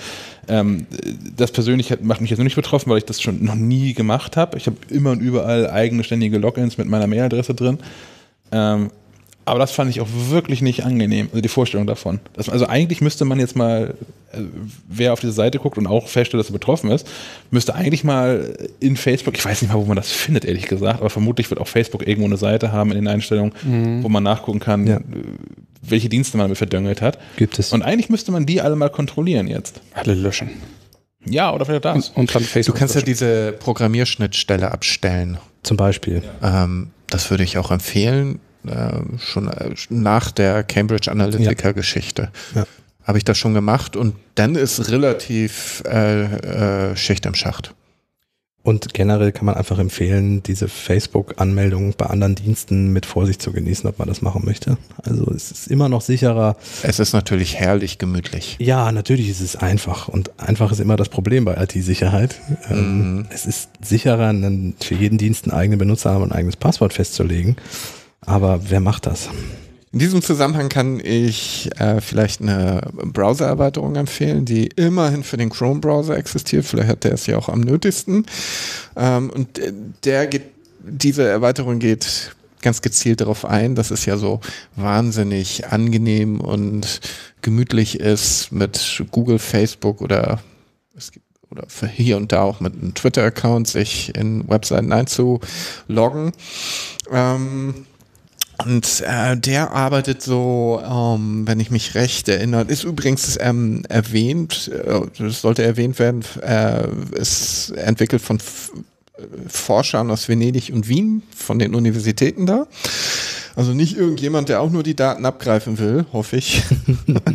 also ähm, äh, meldet man sich äh, zum Beispiel mit Facebook bei einer Webseite an, antwortet der Dienst mit einem Code, den diese Erweiterung WPSE heißt die nochmal, ersetzt, bevor er bei der Webseite äh, landet. Und der echte Code wird also nur in der Kommunikation mit Google äh, beziehungsweise Facebook verwendet. Ähm, das Dumme ist nur, die Chrome-Erweiterung muss, muss ein bisschen, da- äh, pff, muss man ein bisschen frickeln. Die ist nicht im, im äh, Chrome Web Store. Ähm, da können wir vielleicht auch nochmal die, die Webadresse in die Notes below schreiben. Ähm, die sorgt so ein bisschen für Sicherheit bei diesen, bei diesen Aktionen, wo man sich mit seinem, mit dem Facebook-Button beziehungsweise Google oder Twitter-Button in eine, in, in irgendeine Webseite einwählt. Finde ich total gut. WPSE. WPSE. Top. Ähm, dann ist Facebook noch was passiert, beziehungsweise es ist denen gar nicht passiert, das machen die mit voller Absicht. Das ist jetzt aber rausgekommen über eine Recherche von, ich glaube, initial waren es die Kollegen von Gizmodo. Ähm, denen ist aufgefallen, man kann ja Facebook seine Mobilnummer auf zwei Wege geben. Entweder als Teil des Profils oder als Sicherheitsfeature, um dann über diese Two- Two-Factor-Authentification ähm, seinen Account besser abzusichern. Weil man äh, eine SMS bekommt auf das Telefon, wenn man sich anmelden möchte, die man zusätzlich zum Passwort noch angeben muss, richtig? Exakt, ja. Und das erhöht die Sicherheit insofern, dass selbst wenn jemand jetzt dein Benutzernamen und dein Passwort kennt, nicht reinkommt, solange er nicht dein Telefon auch hat. Ja, das Ärgerliche ist, also ich nutze das auch tatsächlich. Das Ärgerliche ist, das hat mir bei diesem anderen Facebook-Hack, von dem wir gerade erzählt haben, gar nicht geholfen, weil das System in sich so kaputt war, dass es da mein Passwort völlig egal für war. Ähm, was das Doofe dabei ist, ich habe Facebook mein, meine Nummer nie gegeben als Teil meines Profils, sondern nur in diesem Sicherheits, ähm, im Rahmen des Sicherheitsfeatures. Ähm, trotzdem kann darauf getrackt werden. Und zwar, wenn ich als Werbetreibender wenn ein Werbetreibender, meine Rufnummer schon hat, weil ich die mal, ich habe auf Rechnung irgendwo gestellt, habe diese Nummer angegeben, ähm, kann der mich über diese Nummer in Facebook tracken und äh, als, als Werbeziel definieren. Was ich extrem unsexy finde, weil das erstens möchte ich das nicht und zweitens steht das auch nirgends. Mhm. Also ich behaupte, das, ich habe das noch nirgends gefunden, dass es irgendwo steht. Ähm, habe den Teil ehrlich gesagt auch vor zwei Tagen erst gelesen und habe ähm, noch nicht so unfassbar viel Zeit darauf verwendet, aber ich glaube, wenn das tatsächlich in den AGBs äh, nicht stattfindet und noch sonst kein Hinweis darauf steht, wäre das auch nochmal so ein Thema, wo man mal sich basierend auf, auf DSGVO-Regularien durchaus mal an die lokale Datenschutzbehörde wenden könnte. Ähm, ich versuche das rauszufinden. Wenn, wenn jemand anderes Zeit und Lust dafür hat, bin ich auch dankbar, ähm, wenn, wenn ihr euch kurz bei mir meldet, entweder per Mail s.schack, s-c-h-a-c-k, at maclife.de, auf Twitter at ischack, i-s-c-h-a-c-k. Ähm, vielleicht kann man sich dann mal zu austauschen und ähm, vielleicht finden wir da gemeinsam irgendwas, was da ähm, zu steht oder halt nicht zu steht. Einen Juristen hätte ich an der Hand für weitere Schritte. das, das ist der, der mich damals auch schon gegen Rihanna verteidigt hat. Ah, sehr gut. Ah, die Story musst du dann aber erzählen, wenn das. Ach, in, in aller Kürze, äh, Post, Post eines Anwaltes für Universal Music, äh, MP3, Tauschbörsen, Daten, Shiznit und äh, das war ich aber definitiv auf mehreren Ecken nicht und keine sechs Jahre später war der Prozess auch beendet und Rihanna persönlich, äh, nee, aber immerhin Universal hat dann, musste meine, meine Anwaltskosten zahlen, also ein Scheiß und Dreck. Da geht inzwischen ziemlich der Arsch auf Grund, also auf Deutsch gesagt, weil man Post ins Haus bekommt, wo die 50.000 Euro fordern und dann antwortet Mhm. man auf Anrat eines Anwalts erstmal drei Monate nicht und dann geht das runter auf 10.000 Euro und bis zur Verhandlung verkürzen die auf 5.000 Euro und bieten dann während der Verhandlung auch 1.000 Euro an und ähm, dann gab es eine Verhandlungsunterbrechung, weil ich dachte, okay, da müssen wir drüber reden. So 1000 Euro nach äh, sechs Jahren, das könnte endlich alles vorbei sein. Vielleicht wäre ich da schwach. Also in dem Wissen, dass ich mich keine Schuld trifft, aber äh, einfach wenn der ganze Scheiß zu Ende ist. Und da hat mein Anwalt mir das verboten, das anzunehmen. Guter, guter Anwalt. Guter. Anwalt. die, die haben jetzt sowieso schon keine Chance mehr und äh, wir ziehen das jetzt durch. Und Hättest noch zwei Jahre gewartet, hättest vielleicht Geld gekriegt. Ja, 50.000 Ja. Euro obendrauf. ja, ich war auch, Als also, Schmerzensgeld das Album anhören zu müssen oder so. ja, ich, ich weiß auch gar nicht, ob man das, also ich erwähne einfach keine Namen sicherheitshalber, aber ich hatte hier das große Glück ähm, vom Amtsgericht in Kiel, Amtsgericht? Ja, Amtsgericht in Kiel, auch eine wirklich sehr kompetente junge Anwältin ähm, zu haben, die jetzt irgendwie in der Thematik auch so ein bisschen drin war und fiese Fragen gestellt hat gegenüber dem ähm, äh, klagenden Anwalt. Ähm, Ich glaube, das hilft, wenn die Richterin schon mal weiß, wer Rihanna ist. Ja. und die auch nicht mag, dann Gegen wen geht das hier? Nein, die, die war auch relativ pissig zwischendurch und hat dann auch ähm, dem, dem Anwalt, der da die offens also offensichtlich war, wurde, dass ähm, die nicht gewohnt sind, dass jemand Kontra gibt. Ja. Sondern die scheinen gewohnt zu sein, dass Menschen das dann einfach zahlen, damit Ruhe ist. Ja. Ähm, spätestens, wenn sie halt mit dem Betrag auf dann noch einmal ein Zehntel des ursprünglich geforderten Betrages runtergehen. Das scheint die Strategie auch zu sein. Ja, das ist ja durchaus die Masche. Ja. Also, Aber äh, entsprechend wirr war der ganze Prozess auch. Das ist mir auch hinterher erst klar geworden. Man ist schon ein bisschen aufgeregt. Man ist zum ersten Mal als Angeklagter irgendwo. Das ist schon nicht cool. Ähm, aber äh, dass ich, dass ich das Ding gewinnen könnte, war nach einer Viertelstunde klar, als die, die Richterin den gegnerischen Anwalt zum ersten Mal fragt, ob er sich auf irgendwas vorbereitet hätte. das war ziemlich cool. So. ah, schön. Und, zwischen, und zwischendurch, äh, es ging, wie gesagt, um MP3-Tauschbörsenkrams. Mm. Und ich musste vorher ein Statement abgeben, so zu meiner technischen Bewandertheit und so. Und habe natürlich auch nicht gelogen. sondern Ich verstehe doch schon alles, wie das funktioniert. Und ich habe auch Ahnung von Netz. Ich habe früher bei einer Firma in Kiel ähm, WLANs und, und VPN-Netze und sowas gebaut und ähm, habe auch da gesagt, dass ich auch die technischen Vorkenntnisse durchaus habe und verstehe, was man da so tun kann, was man nicht tun kann. Und ähm, dann ging es darum, dass, dass der gegnerische Anwalt erklärt hat, was, was eigentlich der, der Vorwurf so ist. Und noch bevor irgendein Zeuge gehört werden konnte, den die ich vor, die ich da gelistet hatte, fragte die Richterin dann den klagenden Anwalt, aber wenn der Herr Schack jetzt, also paraphrasiert, technisch bewandt ist, bewandert ist, dann besteht auch die Chance, dass da in dem Freundeskreis mehrere Menschen so drauf sind.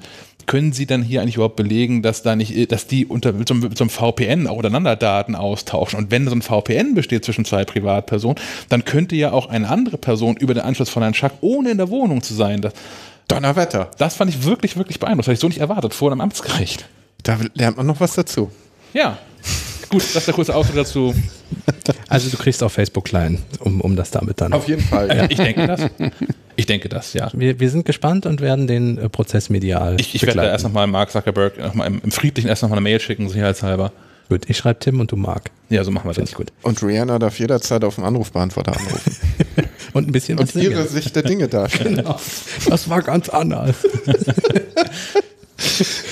ja, Facebook, immer noch Facebook das Thema? äh, wenn du möchtest, wir würden sonst quasi zu einem Tochterkonzern Also Herr Schack und kommen. ich haben uns ähm, ähm, im Büro gerollt und aufeinander eingeschlagen heute Morgen. Nein, ganz so schlimm war es nicht, weil wir über Facebook Portal geredet haben.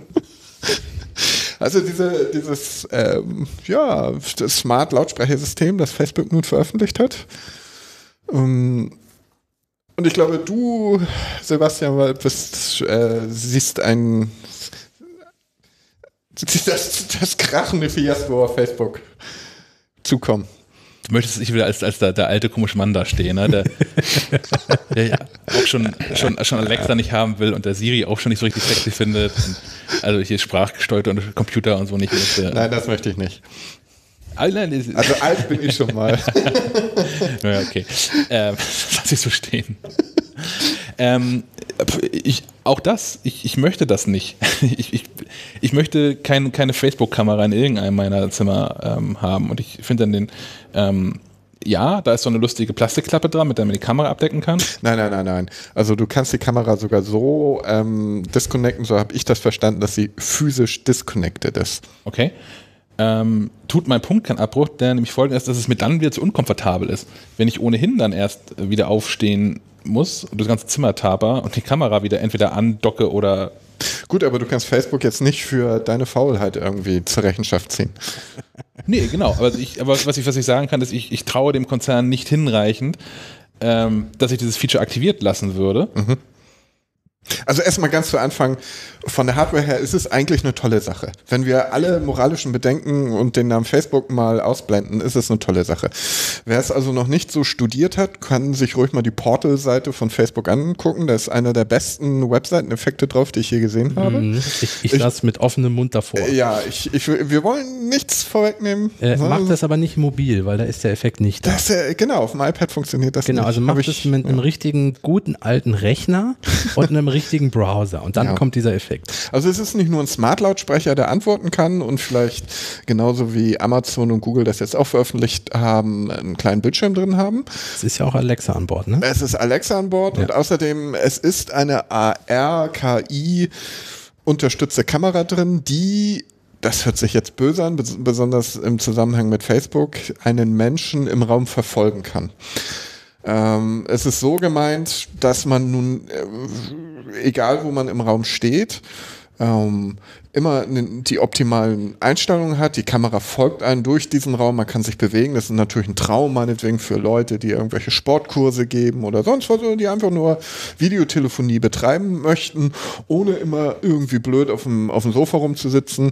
Und ich habe mich schon lange gefragt, warum eigentlich diese Videotelefonie sich nie richtig, irgendwie kommt die nicht in die Pötte, obwohl ohne Zweifel das Millionen und Milliarden Nutzer äh, äh, anwenden.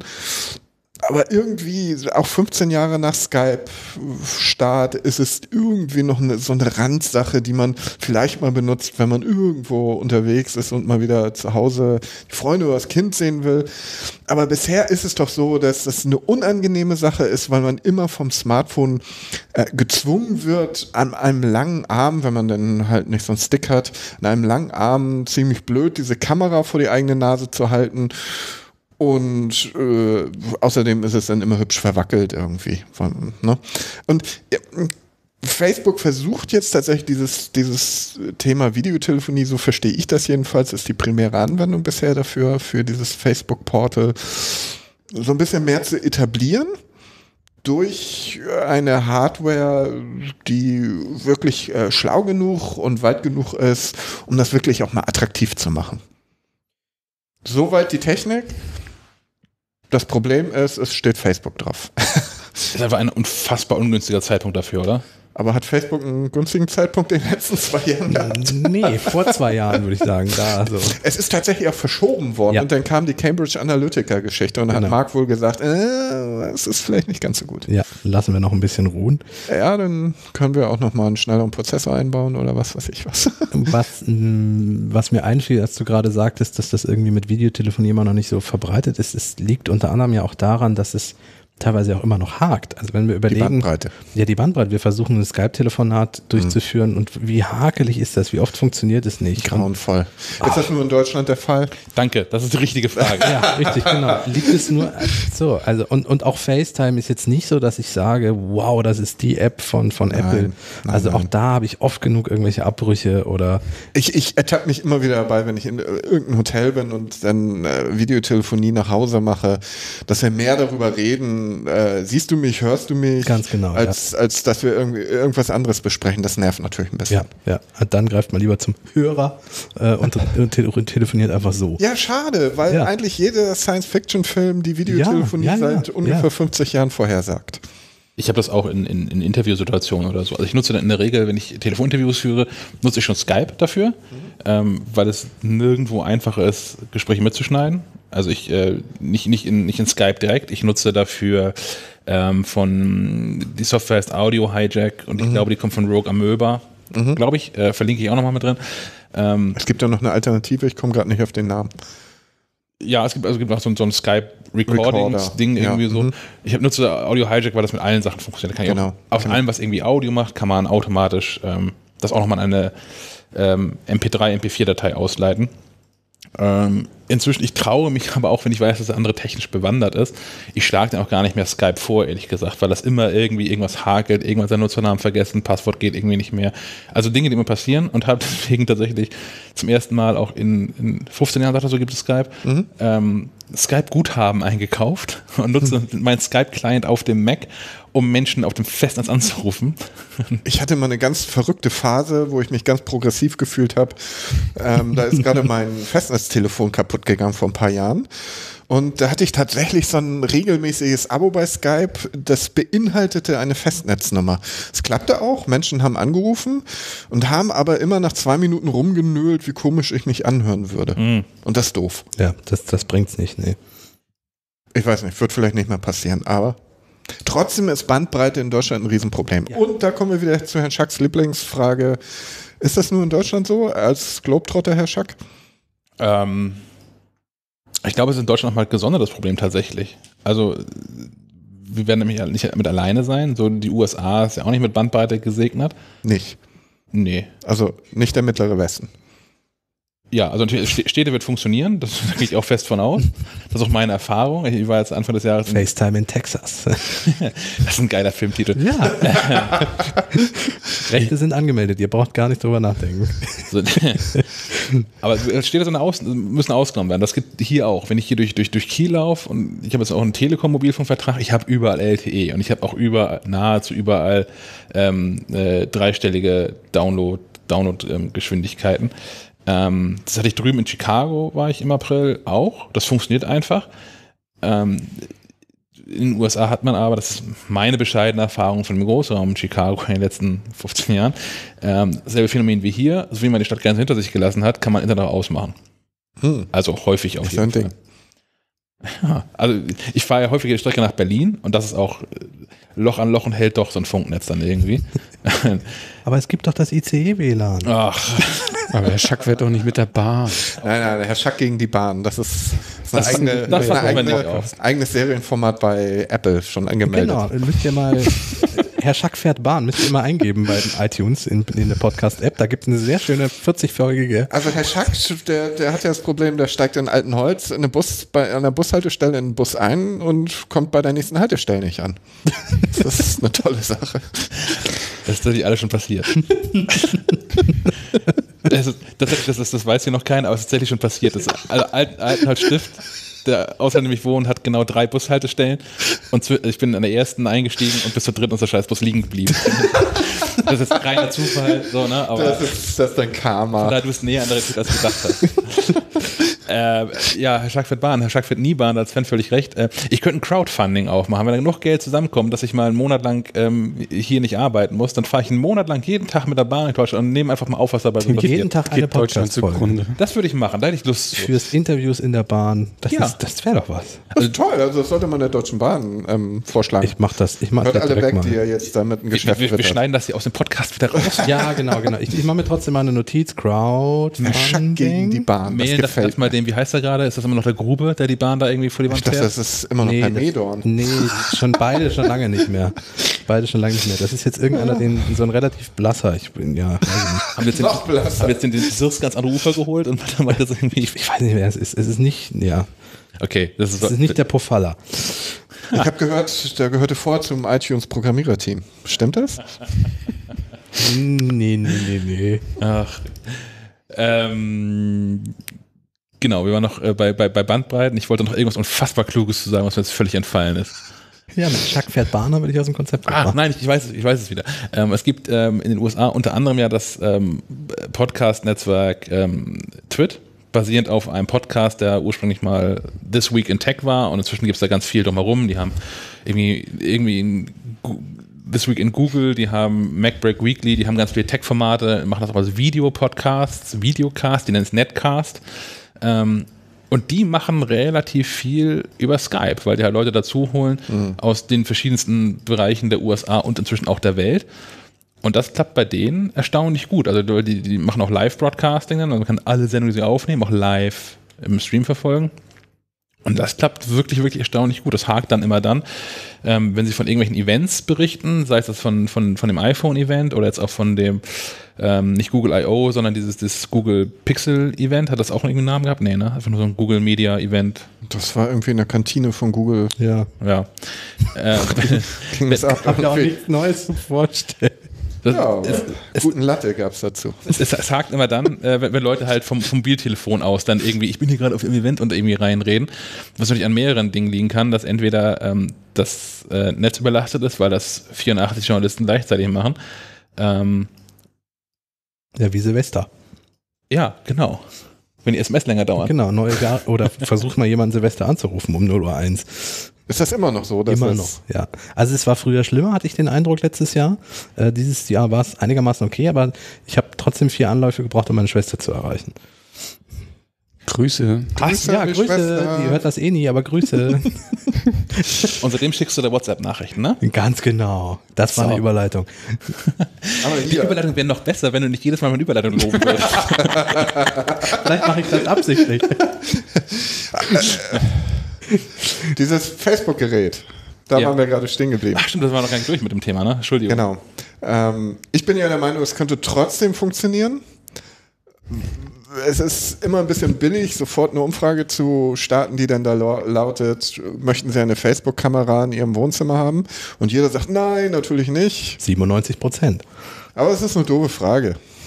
Irgendwie. So, ähm, Das wäre die richtige Frage. wie heißt das Gerät nochmal? Facebook Portal? Ein Portal. Möchten Sie ähm, ein Portal in Ihrem Wohnzimmer nutzen? Das ist weniger populär. Also ein. Portal würde ich wirklich gerne nutzen. Ja, Wie, wie im Spiel. Ja. Ja, ähm, das Ding ist, äh, die, die, ähm, der, die Zielgruppe ist unheimlich gut. Äh, Das gebe ich mal zu bedenken. Ähm, Facebook ist mittlerweile bei 2,2 Mi- oder 2,4 Milliarden Anwendern. Völlig irre, oder? also Völlig irre. rein von der Zahl her. Der Facebook Messenger wird, wurde 2017 für Audiotelefonate, also das, was Skype so kann, benutzt von oder Facebook verzeichnete 17 Milliarden Audiotelefonate.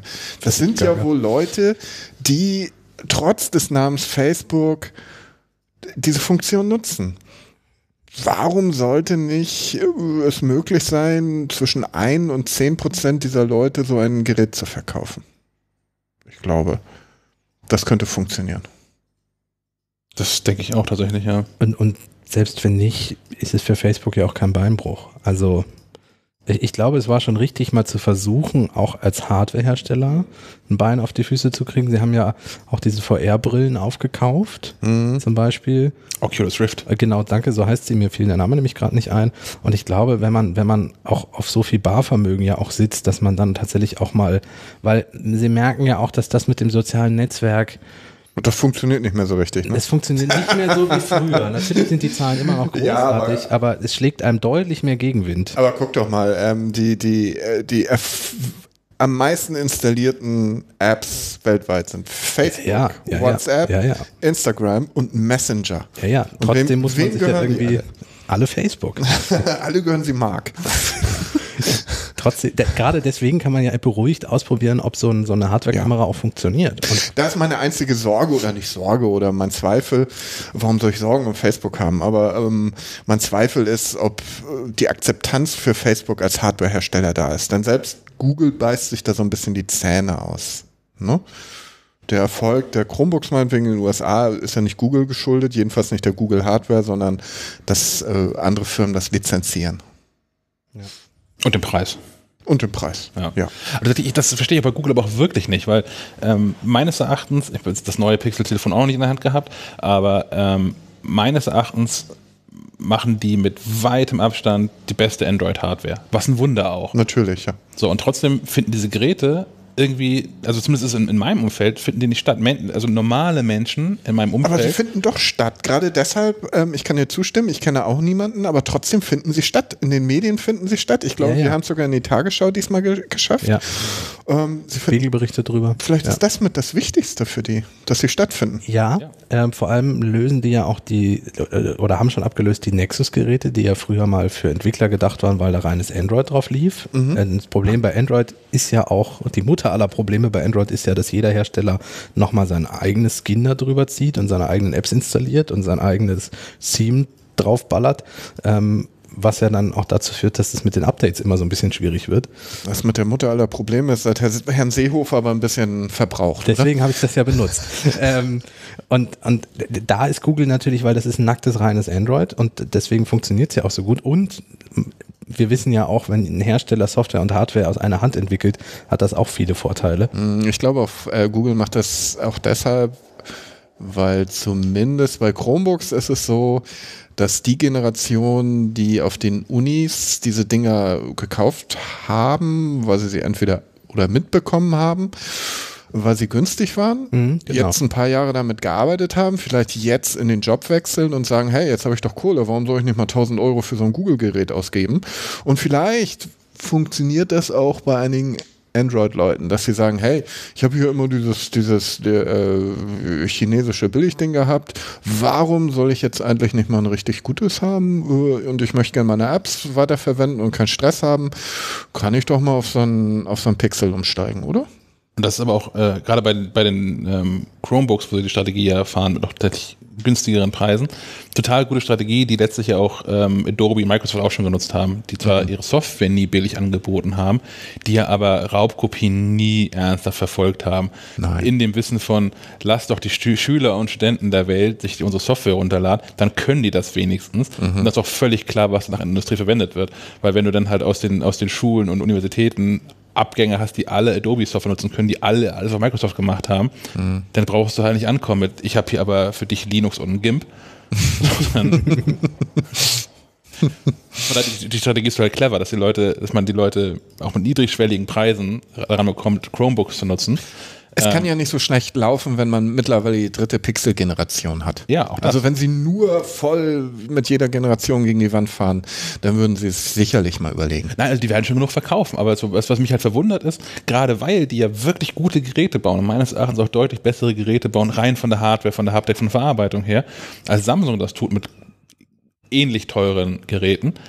Diese Samsung-Dinger sehe ich überall und ich habe so draußen in, in dieser Welt finden die Google Pixel-Geräte, zumindest meiner Erfahrung, eigentlich nur auf Plakaten statt, wenn überhaupt. Ja. Und das, also ich finde das irritierend. Ja, irgendwie schon, ja, finde ich Da, auch. da Ja. liegen aber halt auch, also Samsung ist ja auch schon viel länger im Smartphone-Markt, so präsent. Also ich glaube, damit hat es auch zu tun, weil wenn oft ja auch in den Medien, wenn du das iPhone gegenüberstellst, wen nimmst du zuerst?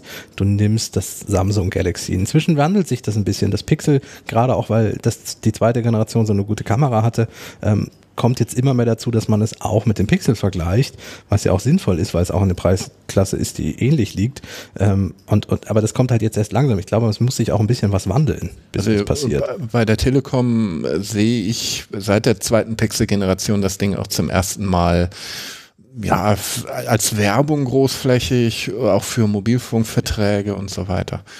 Ich, ich, es, es ist total schwer, weil der Markt eher rückläufig ist und Ja. weil der Markt relativ vergeben ist. Die Chancen sind groß, dass wenn jemand ein iPhone hat, die, der sich als nächstes wieder ein iPhone kauft.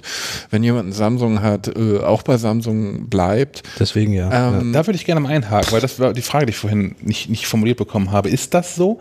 Weil der, der Wechsel von einem Samsung Android-Gerät zum iPhone oder umgekehrt ist unfassbar schwierig. Du, musst dann ganz, du brauchst einen neuen Account, du musst den ganzen Kontakte, Fu, Kalender, Gedöns. Du musst irgendwie überlegen, wie kriege ich eigentlich meine ganzen iMessage-Chats irgendwie nochmal gesichert, dass ich die zumindest mal, dass ich die weiterhin habe. Du musst deine ganzen Fotos aus der iCloud die Apps neu kaufen. Du musst genau teilweise Apps neu kaufen.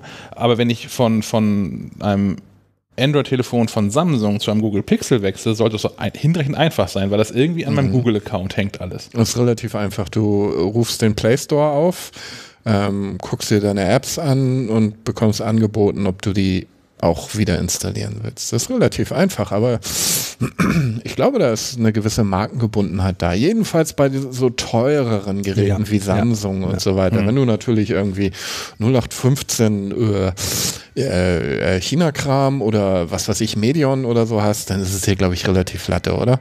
Ja. War es dir aber auch schon immer Latte, was draufsteht. ja, aber dann ist das Google Pixel auch wieder zu teuer, glaube ich. Ja, eben, dann bist Ja. du eh nicht die Zielgruppe. Nee, dann bist du eh Kann nicht die Zielgruppe, sein. genau. Und, aber ich glaube halt auch, wie du ja sagst, Google ist ja dran seit drei Generationen. Ich glaube, die sehen ja auch, dass da in, mindestens ein auf gleich, wenn nicht sogar ein aufsteigender Trend irgendwie vorhanden ist bei den Pixelverkäufen.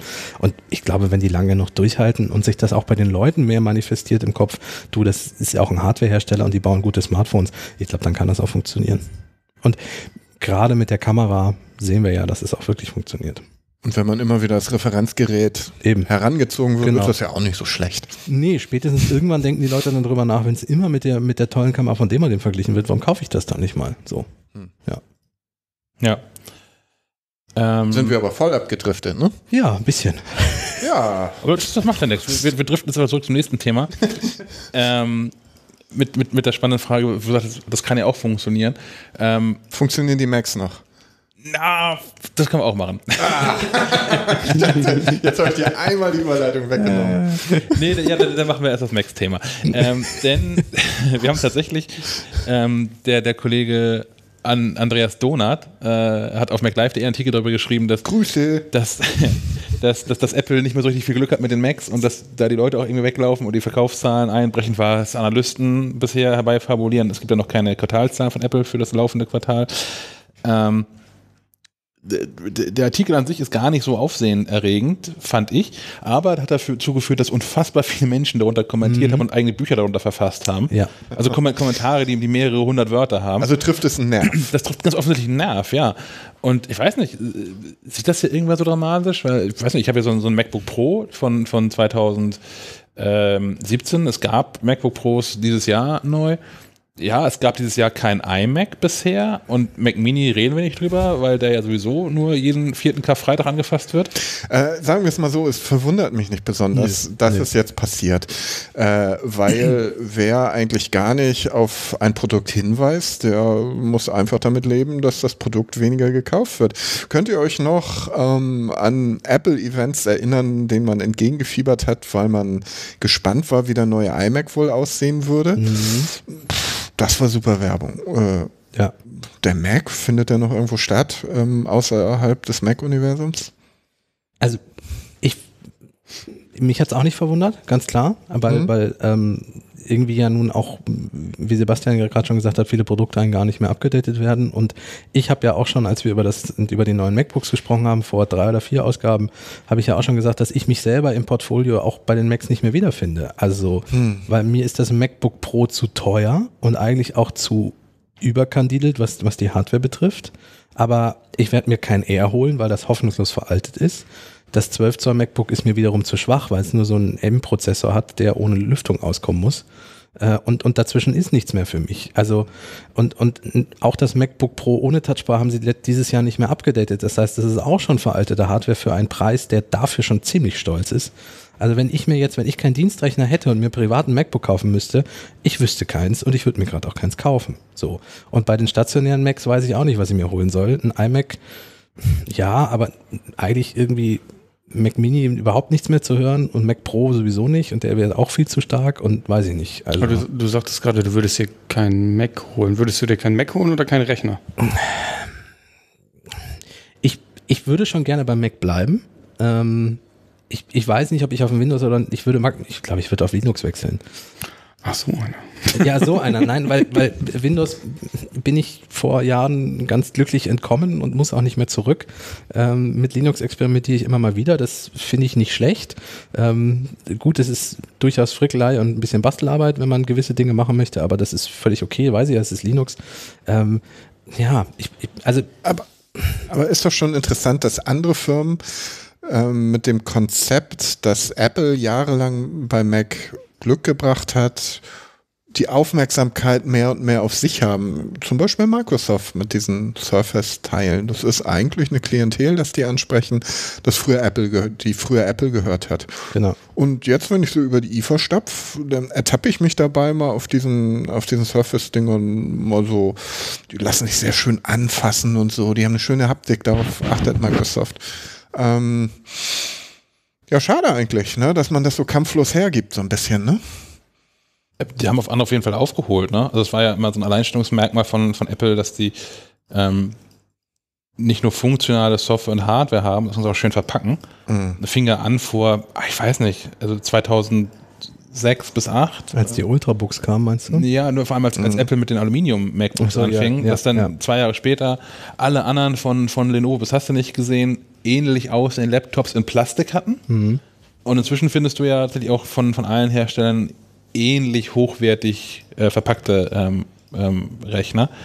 Total. Ähm, Weil das, denke ich, auch die, der Marktbereich ist, der relativ stabil ist. Hochpreisige Laptops äh, ist stabiler als diese Billig-Laptops, denke ich. Ne? Die, die Frage ist aber auch, ob irgendjemand, also von, wie gesagt, Pros, klar, aber die werden auch aktuell bedient. Die haben dieses Jahr den iMac Pro bekommen, die haben den MacBook Pros bekommen. Ja, der Mac Pro fehlt noch, ist angekündigt für nächstes Jahr geschenkt. Ähm, ob aber dem, dem Otto-Normalverbraucher der Mac überhaupt fehlt. Also jetzt gar nicht mal so, wenn er weg wäre, sondern ähm, wie alt muss eigentlich ein Mac sein, bis ich als, mhm. als mhm. normaler Anwender so verzweifelt bin, also können die endlich mal was Neues rausbringen. Ich habe so in meinem, äh, so, mein, meine Eltern nutzen, äh, gut, die nutzen auch primär iPads und da haben sie auch aktuelle, aber ähm, nutzen einen Mac Mini, den wir 2010 mal gekauft haben. Ich habe ähm, eine Freundin, die hat auch 2010 mein damals schon zwei Jahre altes MacBook, äh, 13 Zoll MacBook mir abgekauft. Die ist da bis heute glücklich mit. Die hat da, ich habe da vor vier Jahren da mal SSD eingebaut und das läuft halt. Und das ist das, was ich, was ich überall so sehe. Dass, also ich glaube, dieses, dieses, dieses Segment von, also was, wo gerade bemängelt wird, dass es keine neuen Geräte gibt, so das 12 Zoll MacBook, den MacBook Air Nachfolger, den Mac Mini. Da ist auch gar nicht, der Bedarf ist gar nicht so. Ich fände es auch schön. Ich, und ich glaube, es betrifft nicht nur Apple, oder? Ich meine, wenn du so ein Surface hast, irgendwie, das drei, vier Jahre alt ist ich meine, was machen die meisten Leute? Surfen im Web damit. Gucken, gucken Netflix. Ja, das, das ist ja gerade erzählt. Das ist, ja. das ist, Facebook, das ist Instagram, das ist WhatsApp. Ja, genau. Und das, das betrifft alle Hersteller. Mit so einem Surface von vor drei, vier Jahren kannst du das wunderbar machen. Ich denke auch. Also ich, ich finde auch, also ich persönlich finde es natürlich schade, dass das Apple da dieses Jahr noch nichts geliefert hat. Also zum einen, weil es immer Spaß macht, sich damit zu, zu beschäftigen, weil es auch ehrlich gesagt so ein Heft einfacher macht, wenn Apple neue Geräte rausbringt.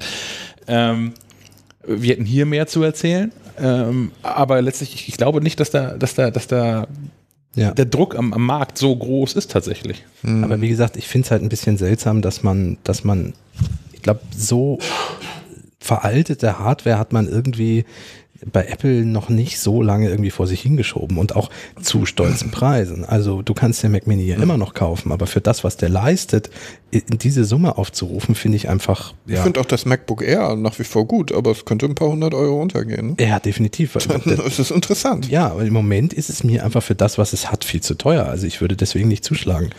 Das, das MacBook Air ist das Einzige, was mich enttäuscht. Also ich, ich finde es, finde es schwach, dass Apple 2018 noch überhaupt irgendein Gerät im Angebot hat, was kein Retina-Display hat. Hm, das ist ein, Also wenn das ist ein Wort. es 500 Euro kosten würde, okay. So. Total. Aber kostet es nicht. Es kostet das Doppelte mindestens. Ja. So. Und, und das ist einfach, was kriege ich im, im Windows, in der Windows-Welt für 1000 Euro für Rechner? So. Und da kann das R dann halt auch nicht mehr mithalten. Das ist, inzwischen ist das wahr, ja. ja. Also insofern, ja. Und wie gesagt, ich, ich fühle mich halt als Otto-Normalverbraucher überhaupt nicht mehr im, im, im MacBook-Markt wieder. Und das ist halt so ein bisschen schade. Ich glaube, ich habe ja noch eine andere Theorie, dass ähm, eigentlich das iPad die, die normale Evolution des Mac ist, weil die Intention jedenfalls von Steve Jobs war, glaube ich, die Hardware so weit wie irgend möglich aus dem Visier zu nehmen. Ja. Möglichst wenig Hardware äh, zu, anzubieten, möglichst einfache Benutzung. Und eigentlich ist das iPad die logische Konsequenz aus der originären Mac-Linie, sprich der Würfel, der irgendwann zum iMac wurde, der iMac, wo dann immer noch dieser Monitor drin war und wo man eine Tastatur zu hatte. Jetzt ist die Tastatur weg, man hat nur noch den Monitor vor sich und das Ganze nennt sich iPad. Ja. Und das hätte Apple vielleicht auch ganz gerne. Ja. Hardware-technisch gebe ich dir sofort recht. Also da sind wir mit dem 10,5 Zoll vom letzten Jahr auch definitiv da angekommen. Ich habe es Mhm. ja äh, eine Woche lang ausprobiert für den Artikel, wirklich komplett auf den Mac zu verzichten und nur mit dem iPad zu arbeiten. Nur das Betriebssystem ist, ist Genau, ist das es Hardware nicht. ist es nicht, ist kein Problem. Die, ich kann Fotos in einer riesigen Größe damit wunderbar bearbeiten, aber die Software ist das Problem und das ist immer noch nicht, also das ist die Engstelle und der Flaschenhals. Ich glaube, es ist auch nicht Apples Problem, dass ähm, selbst das iMac Pro, äh Quatsch, das, iPad. iPad Pro, Entschuldigung. ähm, Siehst da verschwimmen die äh, Grenzen. da fast. verschwimmen die Grenzen, ja. Das ähm, iPad Pro, dass das jetzt nicht den, den Bildbearbeiter oder Videoschnittmenschen anspricht. Nein, nein. Ich nein, frage nein. mich, ob sie das überhaupt wollen, wenn ich mir so anschaue, wie stiefmütterlich die. Nächstes Jahr bringt äh, Adobe Photoshop auf, aufs iPad. Ja, aber wie, wie stiefmütterlich, wie stiefmütterlich sie äh, den, den professionellen Markt seit Jahren im Prinzip bedient. Ich glaube, ich weiß gar nicht, ob Apple sich da noch so sieht. Äh, Und klar würden sie es nie aussprechen und das sind immer Schwüre, die sie dann alle vier Jahre zur Keynote machen, wie wichtig die Anwender noch sind. Aber äh, äh, pff, war, war Apple jemals so eine, so eine in, in der Vorstellung von Steve Jobs zum, zum Beispiel so eine Profifirma, war das nicht eher immer eine Consumerfirma?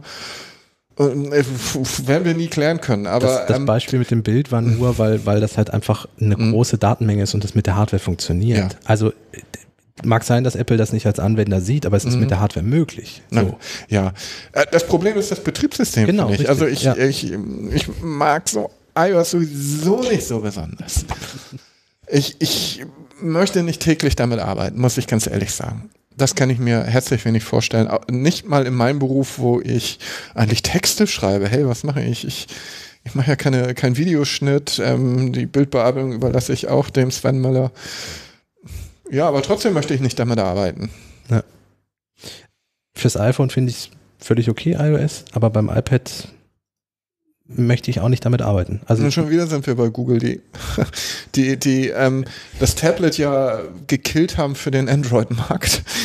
Da haben, Ja, sie ein, da haben sie genau. ein Computerbetriebssystem raufgekriegt. Naja, so eine Mischung aus Computerbetriebssystem, Cloud-Betriebssystem und, und Smartphone-Betriebssystem. Aber sie haben Android da weggefegt. ja, genau. Es, es gibt kein, kein. Sie haben ja selbst sogar gesagt, Android funktioniert auf dem Tablet nicht. Nö, das haben sie auch nie besonders gepusht. Nö. Irgendwie ist gar, deshalb gibt es immer so viele groß skalierte Smartphone-Programme. Ähm, so, bevor ich jetzt zum, zum dritten Mal mit einer grandiosen Überleitung scheitere, wie machen wir jetzt mit welchem Thema machen wir weiter? Wollen wir abstimmen? ähm, ich ich würde noch mal kurz Irgendwas, was nicht mehr so lange dauert. Ja, und zwar ist es, glaube ich, das ist, glaub ich, ein ganz kurzes Thema. Ähm, WhatsApp. Punkt. Habe ich das auf der Themenübersicht übersehen? Wahrscheinlich. WhatsApp möchte im, im, im nächsten Jahr ähm, ähm, Gab es eine zweite Seite? Ja. Verdammt. WhatsApp möchte im nächsten Jahr immer noch kein Geld haben. Also die haben ja schon mal Geld verlangt für ihre App, ich glaube einen Euro oder sowas, ähm, einmalig, äh, wollen jetzt aber Werbung schalten. Ich halte das für eine mittelschwere Katastrophe, weil zum einen möchte ich keine Werbung in meinen Nachrichten, also in meinen Konversationen haben. Zum anderen, ohne jetzt zu wissen, was die konkret tun wollen, die wollen ja aber Werbung in die Chats einbinden. Das bedingt für mich, dass sie ihre vor zwei Jahren, zweieinhalb Jahren mit großem Tamtam eingeführte Verschlüsselung für Chats wieder knicken können, weil wenn das kontextbasiert sein muss und nur so funktioniert Werbung ja dieser Zeiten noch, ähm, müssen die ja wissen, worüber wir, ich da mit Menschen kommuniziere. Ich möchte das nicht und wenn das kommt, mache ich WhatsApp aus. Wie geil. Ich schreibe Thomas auf WhatsApp. Der bringst kein du WhatsApp mir, hat. Ja. Bringst du mir Bananen mit und dann kommt Werbung für Bananen. Wie geil. Das ist ja so, als würde jemand mit, mit, so einem, mit, mit so einem Plakat durch deine Wohnung laufen, ne? So Ja. ein bisschen. Ja. Hm. Schon lustig. Also innerhalb der Chats, also, also Facebook Messenger hat, glaube ich, auch Werbung. Ähm, ich benutze diesen Facebook Messenger Lite, liebe Leute. Da ist nämlich keine Werbung drin. Das hat Facebook bisher vergessen. Hoffentlich kommen sie jetzt nicht drauf. Aus, aus, rausschneiden, bitte rausschneiden. Ich verlinke, verlinke das nicht. So, übrigens eine sehr, sehr gute Applikation für Leute, die, die, denen der Messenger zu groß ist. Messenger Lite ist wirklich eine tolle Sache. Ähm, wie dem auch immer sei. Innerhalb der Chats finde ich auch gewagt. Ansonsten halte ich das für eine Aufregung, die viele Leute nicht teilen werden.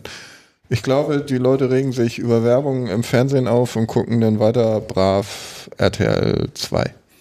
Das ist, ja, aufregend tut sich jeder. Innerhalb der Chats stimme ich euch zu, das wusste ich bisher nicht. Das ist natürlich grenzwertig. Ich finde es unfassbar schade, dass wir nicht einfach Geld nehmen. Also WhatsApp ist so etabliert inzwischen. Wenn die jetzt anfangen würden und sagen, hier, das WhatsApp-Jahresabo kostet 99 Cent bei ihren 1, was Milliarden Nutzern, so lass das davon mal drei Viertel bezahlen. Lass ruhig ein Viertel, die dann sagen, ach, das möchte ich nicht, dann gehe ich halt weg. Aber bleibt irgendwie eine Milliarde Leute über. Das machst, du, machst eine Milliarde im Jahr, dann hast du hier einen Euro jetzt und ab dafür. Das habe ich selbst bei Facebook schon häufig gedacht. Ich, gedacht. Ich fand den Vorwurf einer, ein Vorwurf, da verschwimmen schon wieder die Grenzen, den ähm, Vorschlag eines abo-basierten Facebook für Leute, die das wollen, gar nicht mal so übel. ja, Oder aber nicht? Facebook will das wohl nicht, ne? Wahrscheinlich macht man mit Werbung noch ein bisschen mehr Geld. Ja, das ist aber echt, das finde ich wirklich schade. Also ich meine, weil die Frage ist, wo ist die Schmerzgrenze für WhatsApp? Also ich meine, Menschen, die wirklich viel WhatsApp nutzen, die zahlen auch 2, 5, 10 Euro im Jahr dafür. Ohne mit was zu zucken. Ich habe inzwischen auch, also seit die Verschlüsselung eingeführt haben, ähm, nutze ich das ja auch im, im Freundeskreis, weil ich konnte ja bisher so eine gute Handvoll von Menschen nicht bekehren, die haben noch kein iPhone, deswegen muss ich mit denen irgendwie anders kommunizieren. Ähm, Aber befreundet bist du noch mit denen. Ah, pf, bekannt. ähm, äh, was will ich gerade sagen? Ähm, genau, außerdem nutze ich hier WhatsApp und das ist auch gar nicht so schlecht. Ähm, im, im, Vergleich zu anderen Messengern ist es auch auf dem, auf dem Mac nutzbar, also zumindest über dann diese, diese Web-App-Funktion, die in andere Apps da irgendwie reingezogen wird und so. Ähm, das funktioniert halt. Das war für mich auch mal ein großes, großes Manko bei vielen anderen Messengern, dass ich halt nicht auf dem Mac vernünftig tippen kann, wenn ich mal längere Nachricht habe oder wenn ich sowieso an meinem Mac sitze.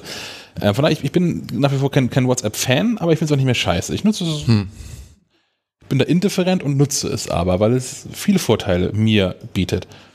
Aber ich, ich wäre tatsächlich weg mit Werbung, so hänge ich auch nicht dran. Hm. Und würde auch mit zwei lachenden Augen da 10 Euro im Jahr für zahlen. Ja, total. Euro im Monat wäre okay. Ein Euro im Monat oder?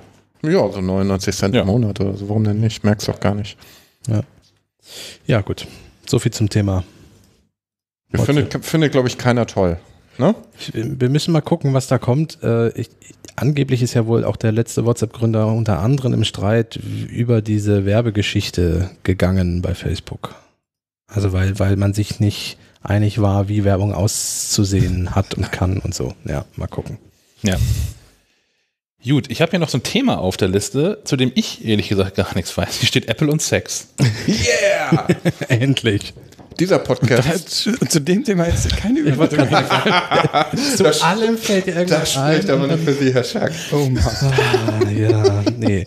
Äh, Thomas und, und ich stehen da mit in der Liste. In welcher jetzt? In, in der Themenliste, äh, dass das Apple und Sex unser Thema ist. Tatsächlich. Ja, Thomas. Nehmt euch ein Zimmer.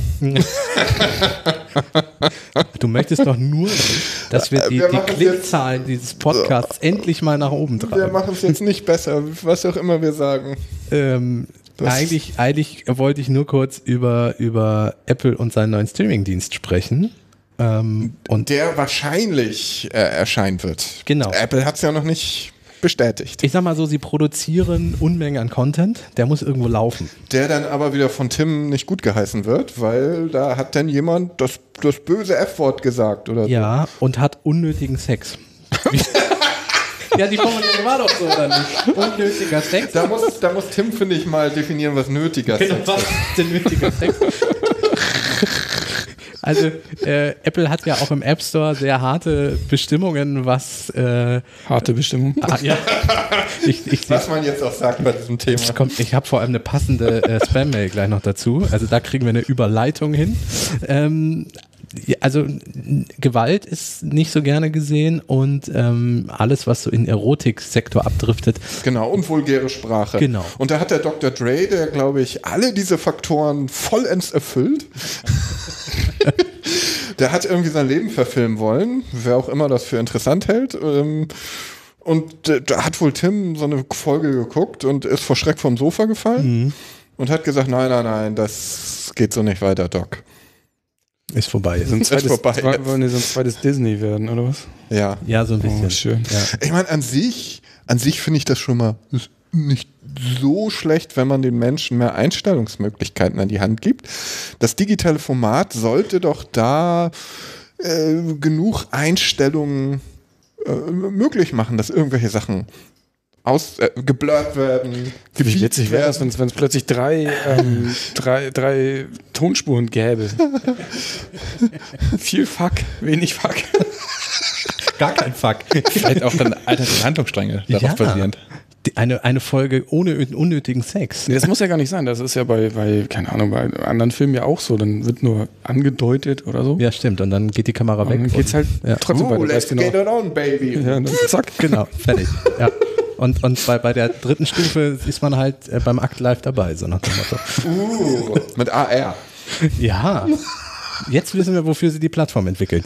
Ähm, ja, äh, ja, also wie gesagt, Apple ist da sehr brüde. Wir müssen mal gucken, was da so kommt. Ähm, aber es ist eigentlich ja schon lange Firmenpolitik, so ein bisschen. Ja, wie gesagt, es ist ja auch nicht unbedingt nur schlecht, wenn da mal jemand ein bisschen drauf achtet, oder? Ich finde, Ja, aber es gibt ja einen Unterschied zwischen, äh, w- äh, keine Ahnung, äh, vulgär in, in Film zu sein oder äh, Gewalt zu zeigen. Also, es ist ja, man muss das ja ein bisschen differenzieren, denke ich. Also ich oute mich mal als Weichei. Also viele Szenen von Serien, die auf Netflix laufen, kann äh, gucke ich sehr oft weg, während meine Freundin zuguckt, die einfach hart sind. Ja. Ähm, zum Beispiel Marcella, das ist eine Krimiserie. Finde ich sehr harte Szenen drin, wo ich dann weggucke und sie erzählt mir danach, was passiert ist oder wann ich wieder hingucken kann. Ähm, muss jeder selber wissen? ich, ich finde halt, sobald es so zum Zwang wird, das Ja. wegzulassen, schwierig. Also wenn ich Ja. mir überlege, ein Tarantino-Film wäre bei sowas nie entstanden, wenn das generell die Regel wäre, dass man das nicht machen dürfte. So, und, und äh, Tarantino hat sehr viel Sprache, die da definitiv reinfällt und auch Mhm. Gewaltdarstellung. Ähm, wenn ich nur allein an seinen ersten Film Reservoir Dogs denke, der sehr, sehr explizit Gewaltdarstellung zeigt. Ähm, trotzdem würde ich den Film jetzt nicht missen wollen. Hm. Und, und es wäre schade, wenn diese ganze Filmreihe nicht entstanden wäre, wegen solchen Dingen. Und ich, Ich, äh, das ist dann halt schwierig, finde ich. Selbst Gewaltdarstellungen in Krimiserien können in gewissem Sinne empathisch sein, weil sie nämlich den Hintergrund sozusagen verdeutlichen, weshalb ein Täter gewalttätig ist. Mhm. Ja, das, das meinte ich eben, man muss halt differenzieren, weil ich würde nicht pauschal sagen, hier Gewalt und, und äh, sch, äh, schlimme Sprache ist, ist negativ. Also, wie Mhm. du eben schon sagtest, so ein Tarantino, ja, der, ist- der zeigt Gewalt, aber der hat auch schlimme Sprache. Trotzdem ist das ja ein, denke ich, auch ein wichtiger Film. Das funktioniert ja in der Musik genauso. Ne, dass ähm, in bestimmten Rap-Styles schlimme, vulgäre Sprache an der Tagesordnung ist. Es liegt aber eine immense Kraft da drin, wenn jemand den Mut hat, Dinge so auszusprechen, wie sie sind. Mhm. Und ich mich damit irgendwie, ja, boah, identifizieren kann. Natürlich gibt es auch da Grenzen, also irgendwann, wenn es dann in den strafbaren Natürlich. Bereich kommt, klar, aber trotzdem finde ich, also ich möchte nicht von Zensur bei Apple sprechen, aber ich, ich finde es schade, wenn dadurch die Kreativität eingeschränkt wird. Und es gab ja wohl auch schon oder gibt Serienmacher, die, die dann mit Apple zusammenarbeiten wollten und das dann auch relativ schnell wieder haben äh, sein lassen. Mhm. Ganz oder genau. jetzt nur noch irgendwelche äh, Produzenten in dritter Reihe oder so sind, statt irgendwie die, die ausführende Kraft oder so.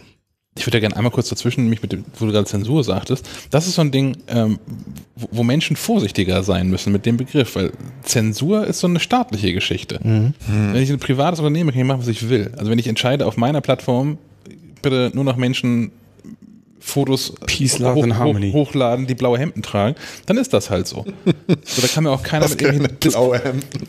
ja, da, da kann mir auch keiner mit irgendwelchen Diskriminierungsgesetzen oder Zensur und sowas so, kommen. ist, ist schon richtig. Ähm, äh, von, von daher, die können ja durchaus tun und machen, was sie wollen. Und da darf sich eigentlich auch, also zumindest auf, de, auf, de, äh, auf, auf dem Level niemand beschweren.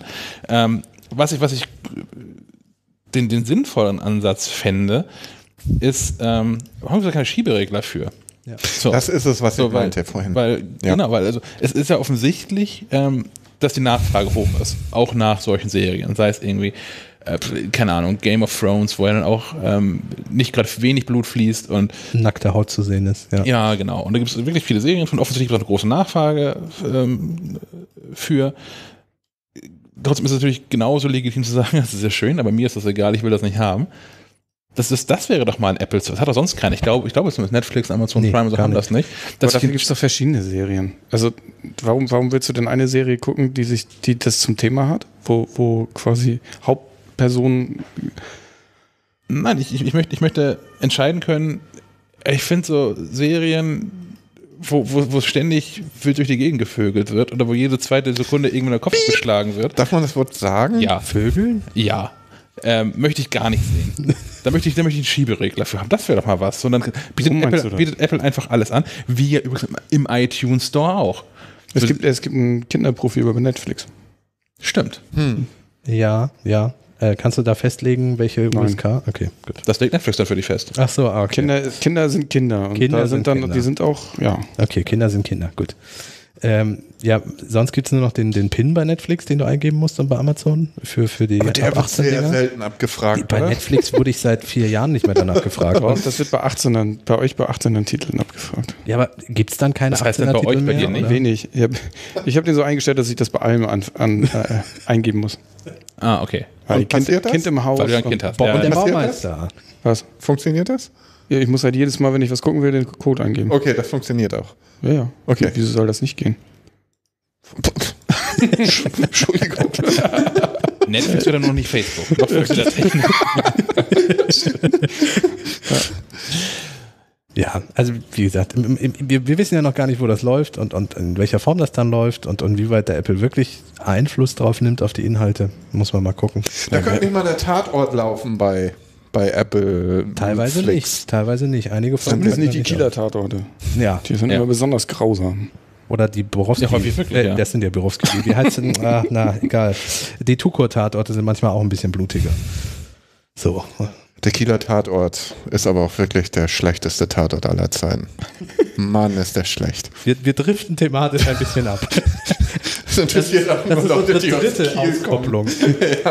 Der Tatort-Podcast gibt es bestimmt schon 4000 Mal, Nur, oder? nur kurz Protokoll geben, dass das keine Konsensmeinung ist. Das hat hat aus Genau, ruft uns an und sagt, sagt uns eure Meinung. Welches ist der beste Tatort? Genau. Welches Team ist das? Beste? Weimar, Weimar. Äh, gut. Ja, Weimar ist toll. Ja. Gut. Ja, passend, wir bleiben beim. Thema Sex, ne? Ich habe die spam hat's schon wieder gesagt. Und ja, diesmal wird es erotisch. Ähm, wir sind ja hier eine Herrenrunde, deswegen dürfte euch das vielleicht auch interessieren. Herr von Alvern, der Sexgott. Äh, Thomas hat die Mail schon gelesen, weil ich die nämlich auf dem Schreibtisch hatte liegen. Und er schrieb mir hier schön dazu, vielleicht nicht offen herumliegen lassen. So, also äh, Das habe ich auf diesem Zettel. das hast du auf die ausgedruckte Mail Ja, ja, geschrieben. genau. Genau. Du hast eine Mail ausgedrückt. Ja. Ich drucke, das ist jetzt, ich drucke die Spam-Mail des Monats immer aus. Und da wird die eingerahmt und aufgehängt. Genau. Und am Ende bringe ich das als äh, gedrucktes Buch raus. Gut. Ähm, wie ist das eigentlich mit Urheberrechten? Können mich die Spam-Mail schreiben? So, also es geht darum, dass wir getting bigger down there werden. Ähm, und Da musst du irgendwie deine. War jetzt bei Australien. sehr, süß. Ähm, nee, es geht um was anderes. Ähm, und ich dachte so, ach nee, nicht so eine Mail, aber die Methode. Um, um, um die es hier geht, die ist revolutionär und, und da hat es mich dann doch wieder so, dass ich Larry Hyman, von dem die Mail kommt, äh, dann doch auch antworten werde. Ähm, make it bigger is impossible, we say.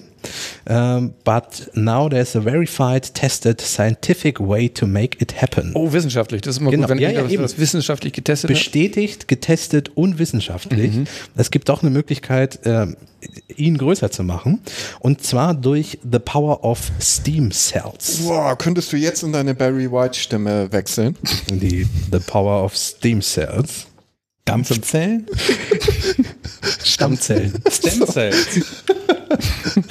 okay. ähm, die können nämlich, they can become any type of cell. A heart cell, Total, ja. a brain cell, you can guess it, a penis cell. Also es ergibt bis jetzt Sinn, das muss man mal zugeben. Ja, ja, deswegen ja. Ähm, und ähm, wir haben die Möglichkeit, äh, die Antwort auf all unsere Probleme durch diese Stammzellen zu lösen. Und er hat ein Quiz verlinkt äh, in dieser E-Mail, ähm, bei dem wir dann teilnehmen können. Äh, und es ist ein Revolutionary Quiz to see how big Steam Cells can make you based on your size, age and race. So, und dann können wir einfach draufklicken auf den Link. Hast du und, gemacht, natürlich, Äh, ne? natürlich habe ich schon durchgeklickt, das äh, Quiz. Und, äh, danke an Larry Hyman. Äh, Infos werde ich dazu jetzt nicht rausgeben. ähm, macht es doch selbst. Also ich, ich gebe den Link auch gerne weiter. Aber du kannst ja nicht wirklich zu so einem Spam-Scheiß aufrufen. es gibt Leute, die machen das. Ja, also Stammzellentherapie ist auch da die Lösung für all unsere Probleme. hat's was gebracht? Das ist die wichtigste Frage, die ich jetzt habe. Äh, ich habe bis jetzt die Stammzellentherapie noch nicht angefangen. Ich spiele aber sehr mit dem Gedanken. Ist bestimmt auch teuer, oder? Äh, ich, doch, sicherlich. Also so Stammzellen, ja. Die, die von einer Herzzelle umzuprogrammieren in was anderes ist schon schwierig. Ja. Vielen Dank fürs Zuhören. Bis zum nächsten Mal. Macht's gut. Tschüss. Ciao. Ciao, ciao.